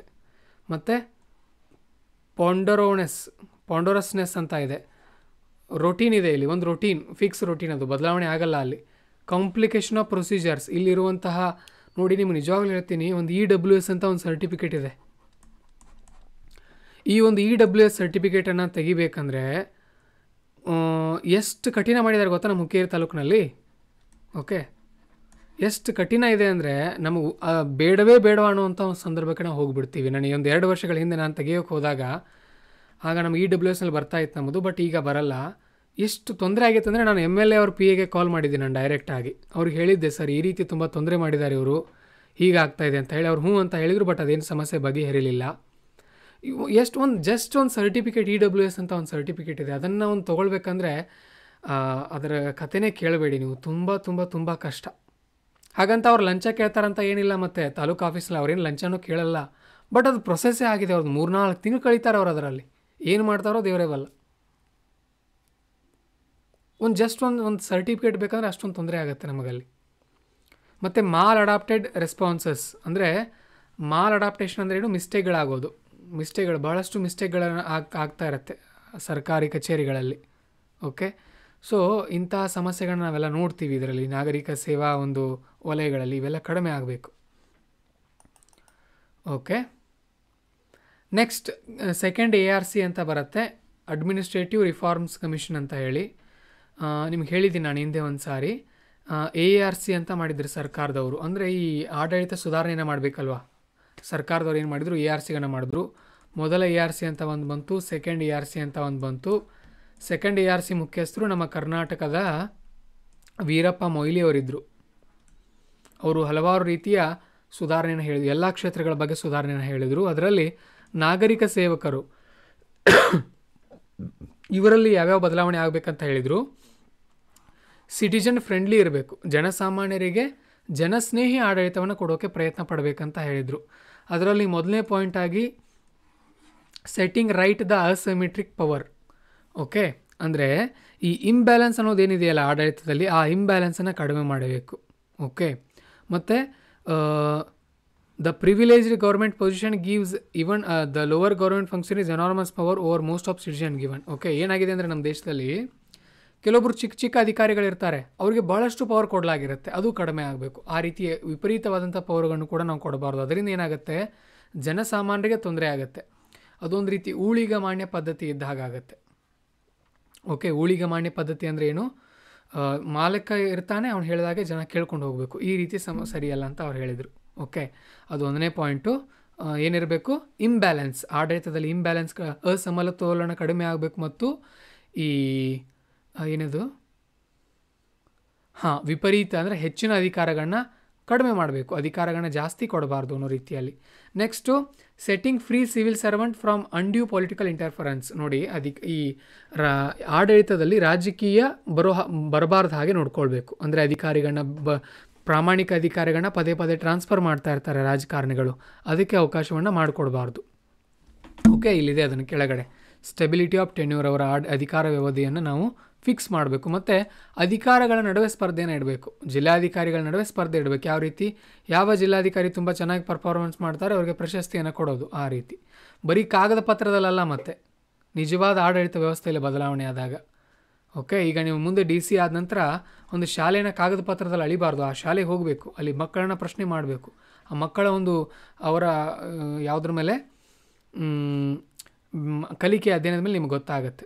ನೆಕ್ಸ್ಟ್ ಸಿಟಿಜನ್ ಸೆಂಟ್ರಿಕ್ ಜನ ಕೇಂದ್ರಿತ ಆಡಳಿತವನ್ನು ಕೊಡಬೇಕು. ಇವನ್ನೆಲ್ಲ ನೀವು ಓದ್ಕೊಳ್ಳಿ, ಇವನ್ನೆಲ್ಲ ಏನು ಎಕ್ಸ್ಪ್ಲೇನ್ ಮಾಡೋ ಅಗತ್ಯ ಇಲ್ಲ. ಜನಸ್ನೇಹಿ ಆಡಳಿತ ಇರಬೇಕು ಅಕೌಂಟೆಬಿಲಿಟಿ ಇರಬೇಕು. ಅಂದರೆ ಭಾಳಷ್ಟು ದುಡ್ಡು ಬರುತ್ತೆ ಡಿ ಸಿ ಆಫೀಸ್ಗೆ ಡಿ ಸಿ ಆಫೀಸ್ಗೆ ಭಾಳಷ್ಟು ದುಡ್ಡು ಇರುತ್ತೆ. ತಹಶೀಲ್ದಾರ್ ಅವ್ರಿಗೂ ಕೂಡ ಭಾಳಷ್ಟು ಸರ್ಕಾರ ಅನುದಾನವನ್ನು ಕೊಡ್ತಾ ಇರುತ್ತೆ. ಚುನಾವಣೆ ಸಂದರ್ಭದಲ್ಲಂತೂ ಬಹಳನೇ ಇರುತ್ತೆ. ಅವರ, ಅವ್ರಿಗೆ ವಿವೇಚನಾ ಅಧಿಕಾರ ಇರುತ್ತೆ ಅದಕ್ಕೆ ಬಳಸೋದ್ರಲ್ಲಿ ಅದನ್ನು. ಆಗ ಪಾರದರ್ಶಕವಾಗಿ ಅದನ್ನು ಬಳಸ್ಕೊಳ್ಬೇಕು. ಮತ್ತು ಔಟ್ಕಮ್ ಓರಿಯೆಂಟೆಡ್ ಬರೀ ಕಾಗದ ಪತ್ರ ಅನ್ನೋ ಬದಲಾಗಿ ಔಟ್ಕಮ್ ಏನು ಬರ್ತಾ ಇದೆ ರಿಸಲ್ಟ್ ಏನು ಬರ್ತಾ ಇದೆ ಅಂತ ನೋಡಬೇಕು. ಮಕ್ಕಳು ಕಲಿತಾ ಇದ್ದಾರೆ ಶಾಲೆಗಳಲ್ಲಿ. ತಹಶೀಲ್ದಾರ್ ಆಫೀಸ್ಗಳಲ್ಲಿ ಗ್ರಾಮ ಪಂಚಾಯತಿಗಳಲ್ಲಿ ಜನರ ಕೆಲಸಗಳು ನಿಜವಾಗ್ಲೂ ಆಗ್ತಾ ಇದೆಯಾ? ನಿಜವಾಗಲೂ ಶೌಚಾಲಯಗಳನ್ನ ಜನ ಕಟ್ತಾ ಇದ್ದಾರೆ? ಈ ರೀತಿ ಚೆಕ್ ಮಾಡಬೇಕು. ಬರೀ ಕಾಗದ ನೋಡ್ತಾ ಹೋಗಬಾರ್ದು ಆಫೀಸಲ್ಲಿ ಕುಳಿತುಕೊಂಡು ಔಟ್ಕಮ್ ಓರಿಯೆಂಟೆಡ್ ಆಗಿ ಕೆಲಸಗಳನ್ನ ಮಾಡಬೇಕು D C ಆಫೀಸ್ಗಳು next promoting public service values ಮತ್ತು ಎಥಿಕ್ಸ್ ಇವರಲ್ಲಿ ನಾಗರಿಕ ಸೇವೆ ಇರಬೇಕು ಪಬ್ಲಿಕ್ ಸರ್ವಿಸ್ ವ್ಯಾಲ್ಯೂಸ್ ಮೌಲ್ಯಗಳಿರಬೇಕು, ಇವರಲ್ಲಿ ಎಫಿಷಿಯನ್ಸಿ ಇಂಟಿಗ್ರಿಟಿ ಇವೆಲ್ಲ ಮೌಲ್ಯಗಳು ಇದರಲ್ಲಿ ಇರಬೇಕು ಅಂತ ಹೇಳಿ ಈ ಏಳು ಪಾಯಿಂಟ್ಗಳನ್ನ ಯಾರು ಹೇಳಿದ್ದಾರೆ? ಸೆಕೆಂಡ್ ಎ ಆರ್ ಸಿ ಏಳು ಪಾಯಿಂಟ್ಗಳನ್ನ ಬಾಯಾಟ್ ಮಾಡ್ಕೊಳ್ಳಿ. ಸೆಕೆಂಡ್ ಎ ಆರ್ ಸಿನವ್ರು ಇವರು ಇದನ್ನು ಹೇಳಿದರು ಅಂತ ಹೇಳಿ ಬರಿಬೇಕು ನೀವು ಎಕ್ಸಾಮ್ನಲ್ಲಿ ಈ ಪ್ಯಾರಾಗ್ರಾಫ್ನಲ್ಲಿ ಇರೋದನ್ನು ಬರೆಯೋ ಹಾಗಿಲ್ಲ, ಬರೀ ಈ ಪಾಯಿಂಟ್ಸ್ಗಳನ್ನ ಬರಿಬೇಕು. ಓಕೆ ಈ ಪಾಯಿಂಟ್ಸನ್ನು ಮಾತ್ರ. ಸೆಕೆಂಡ್ ಎ ಆರ್ ಸಿ ನಾಗರಿಕ ಸೇವಕರಿಗೆ ಈ ಪಾಯಿಂಟನ್ನು ಹೇಳಿದೆ ಅಂತ ಹೇಳಿ. ಓಕೆ ಅಷ್ಟು ಗೊತ್ತಿರಲಿ.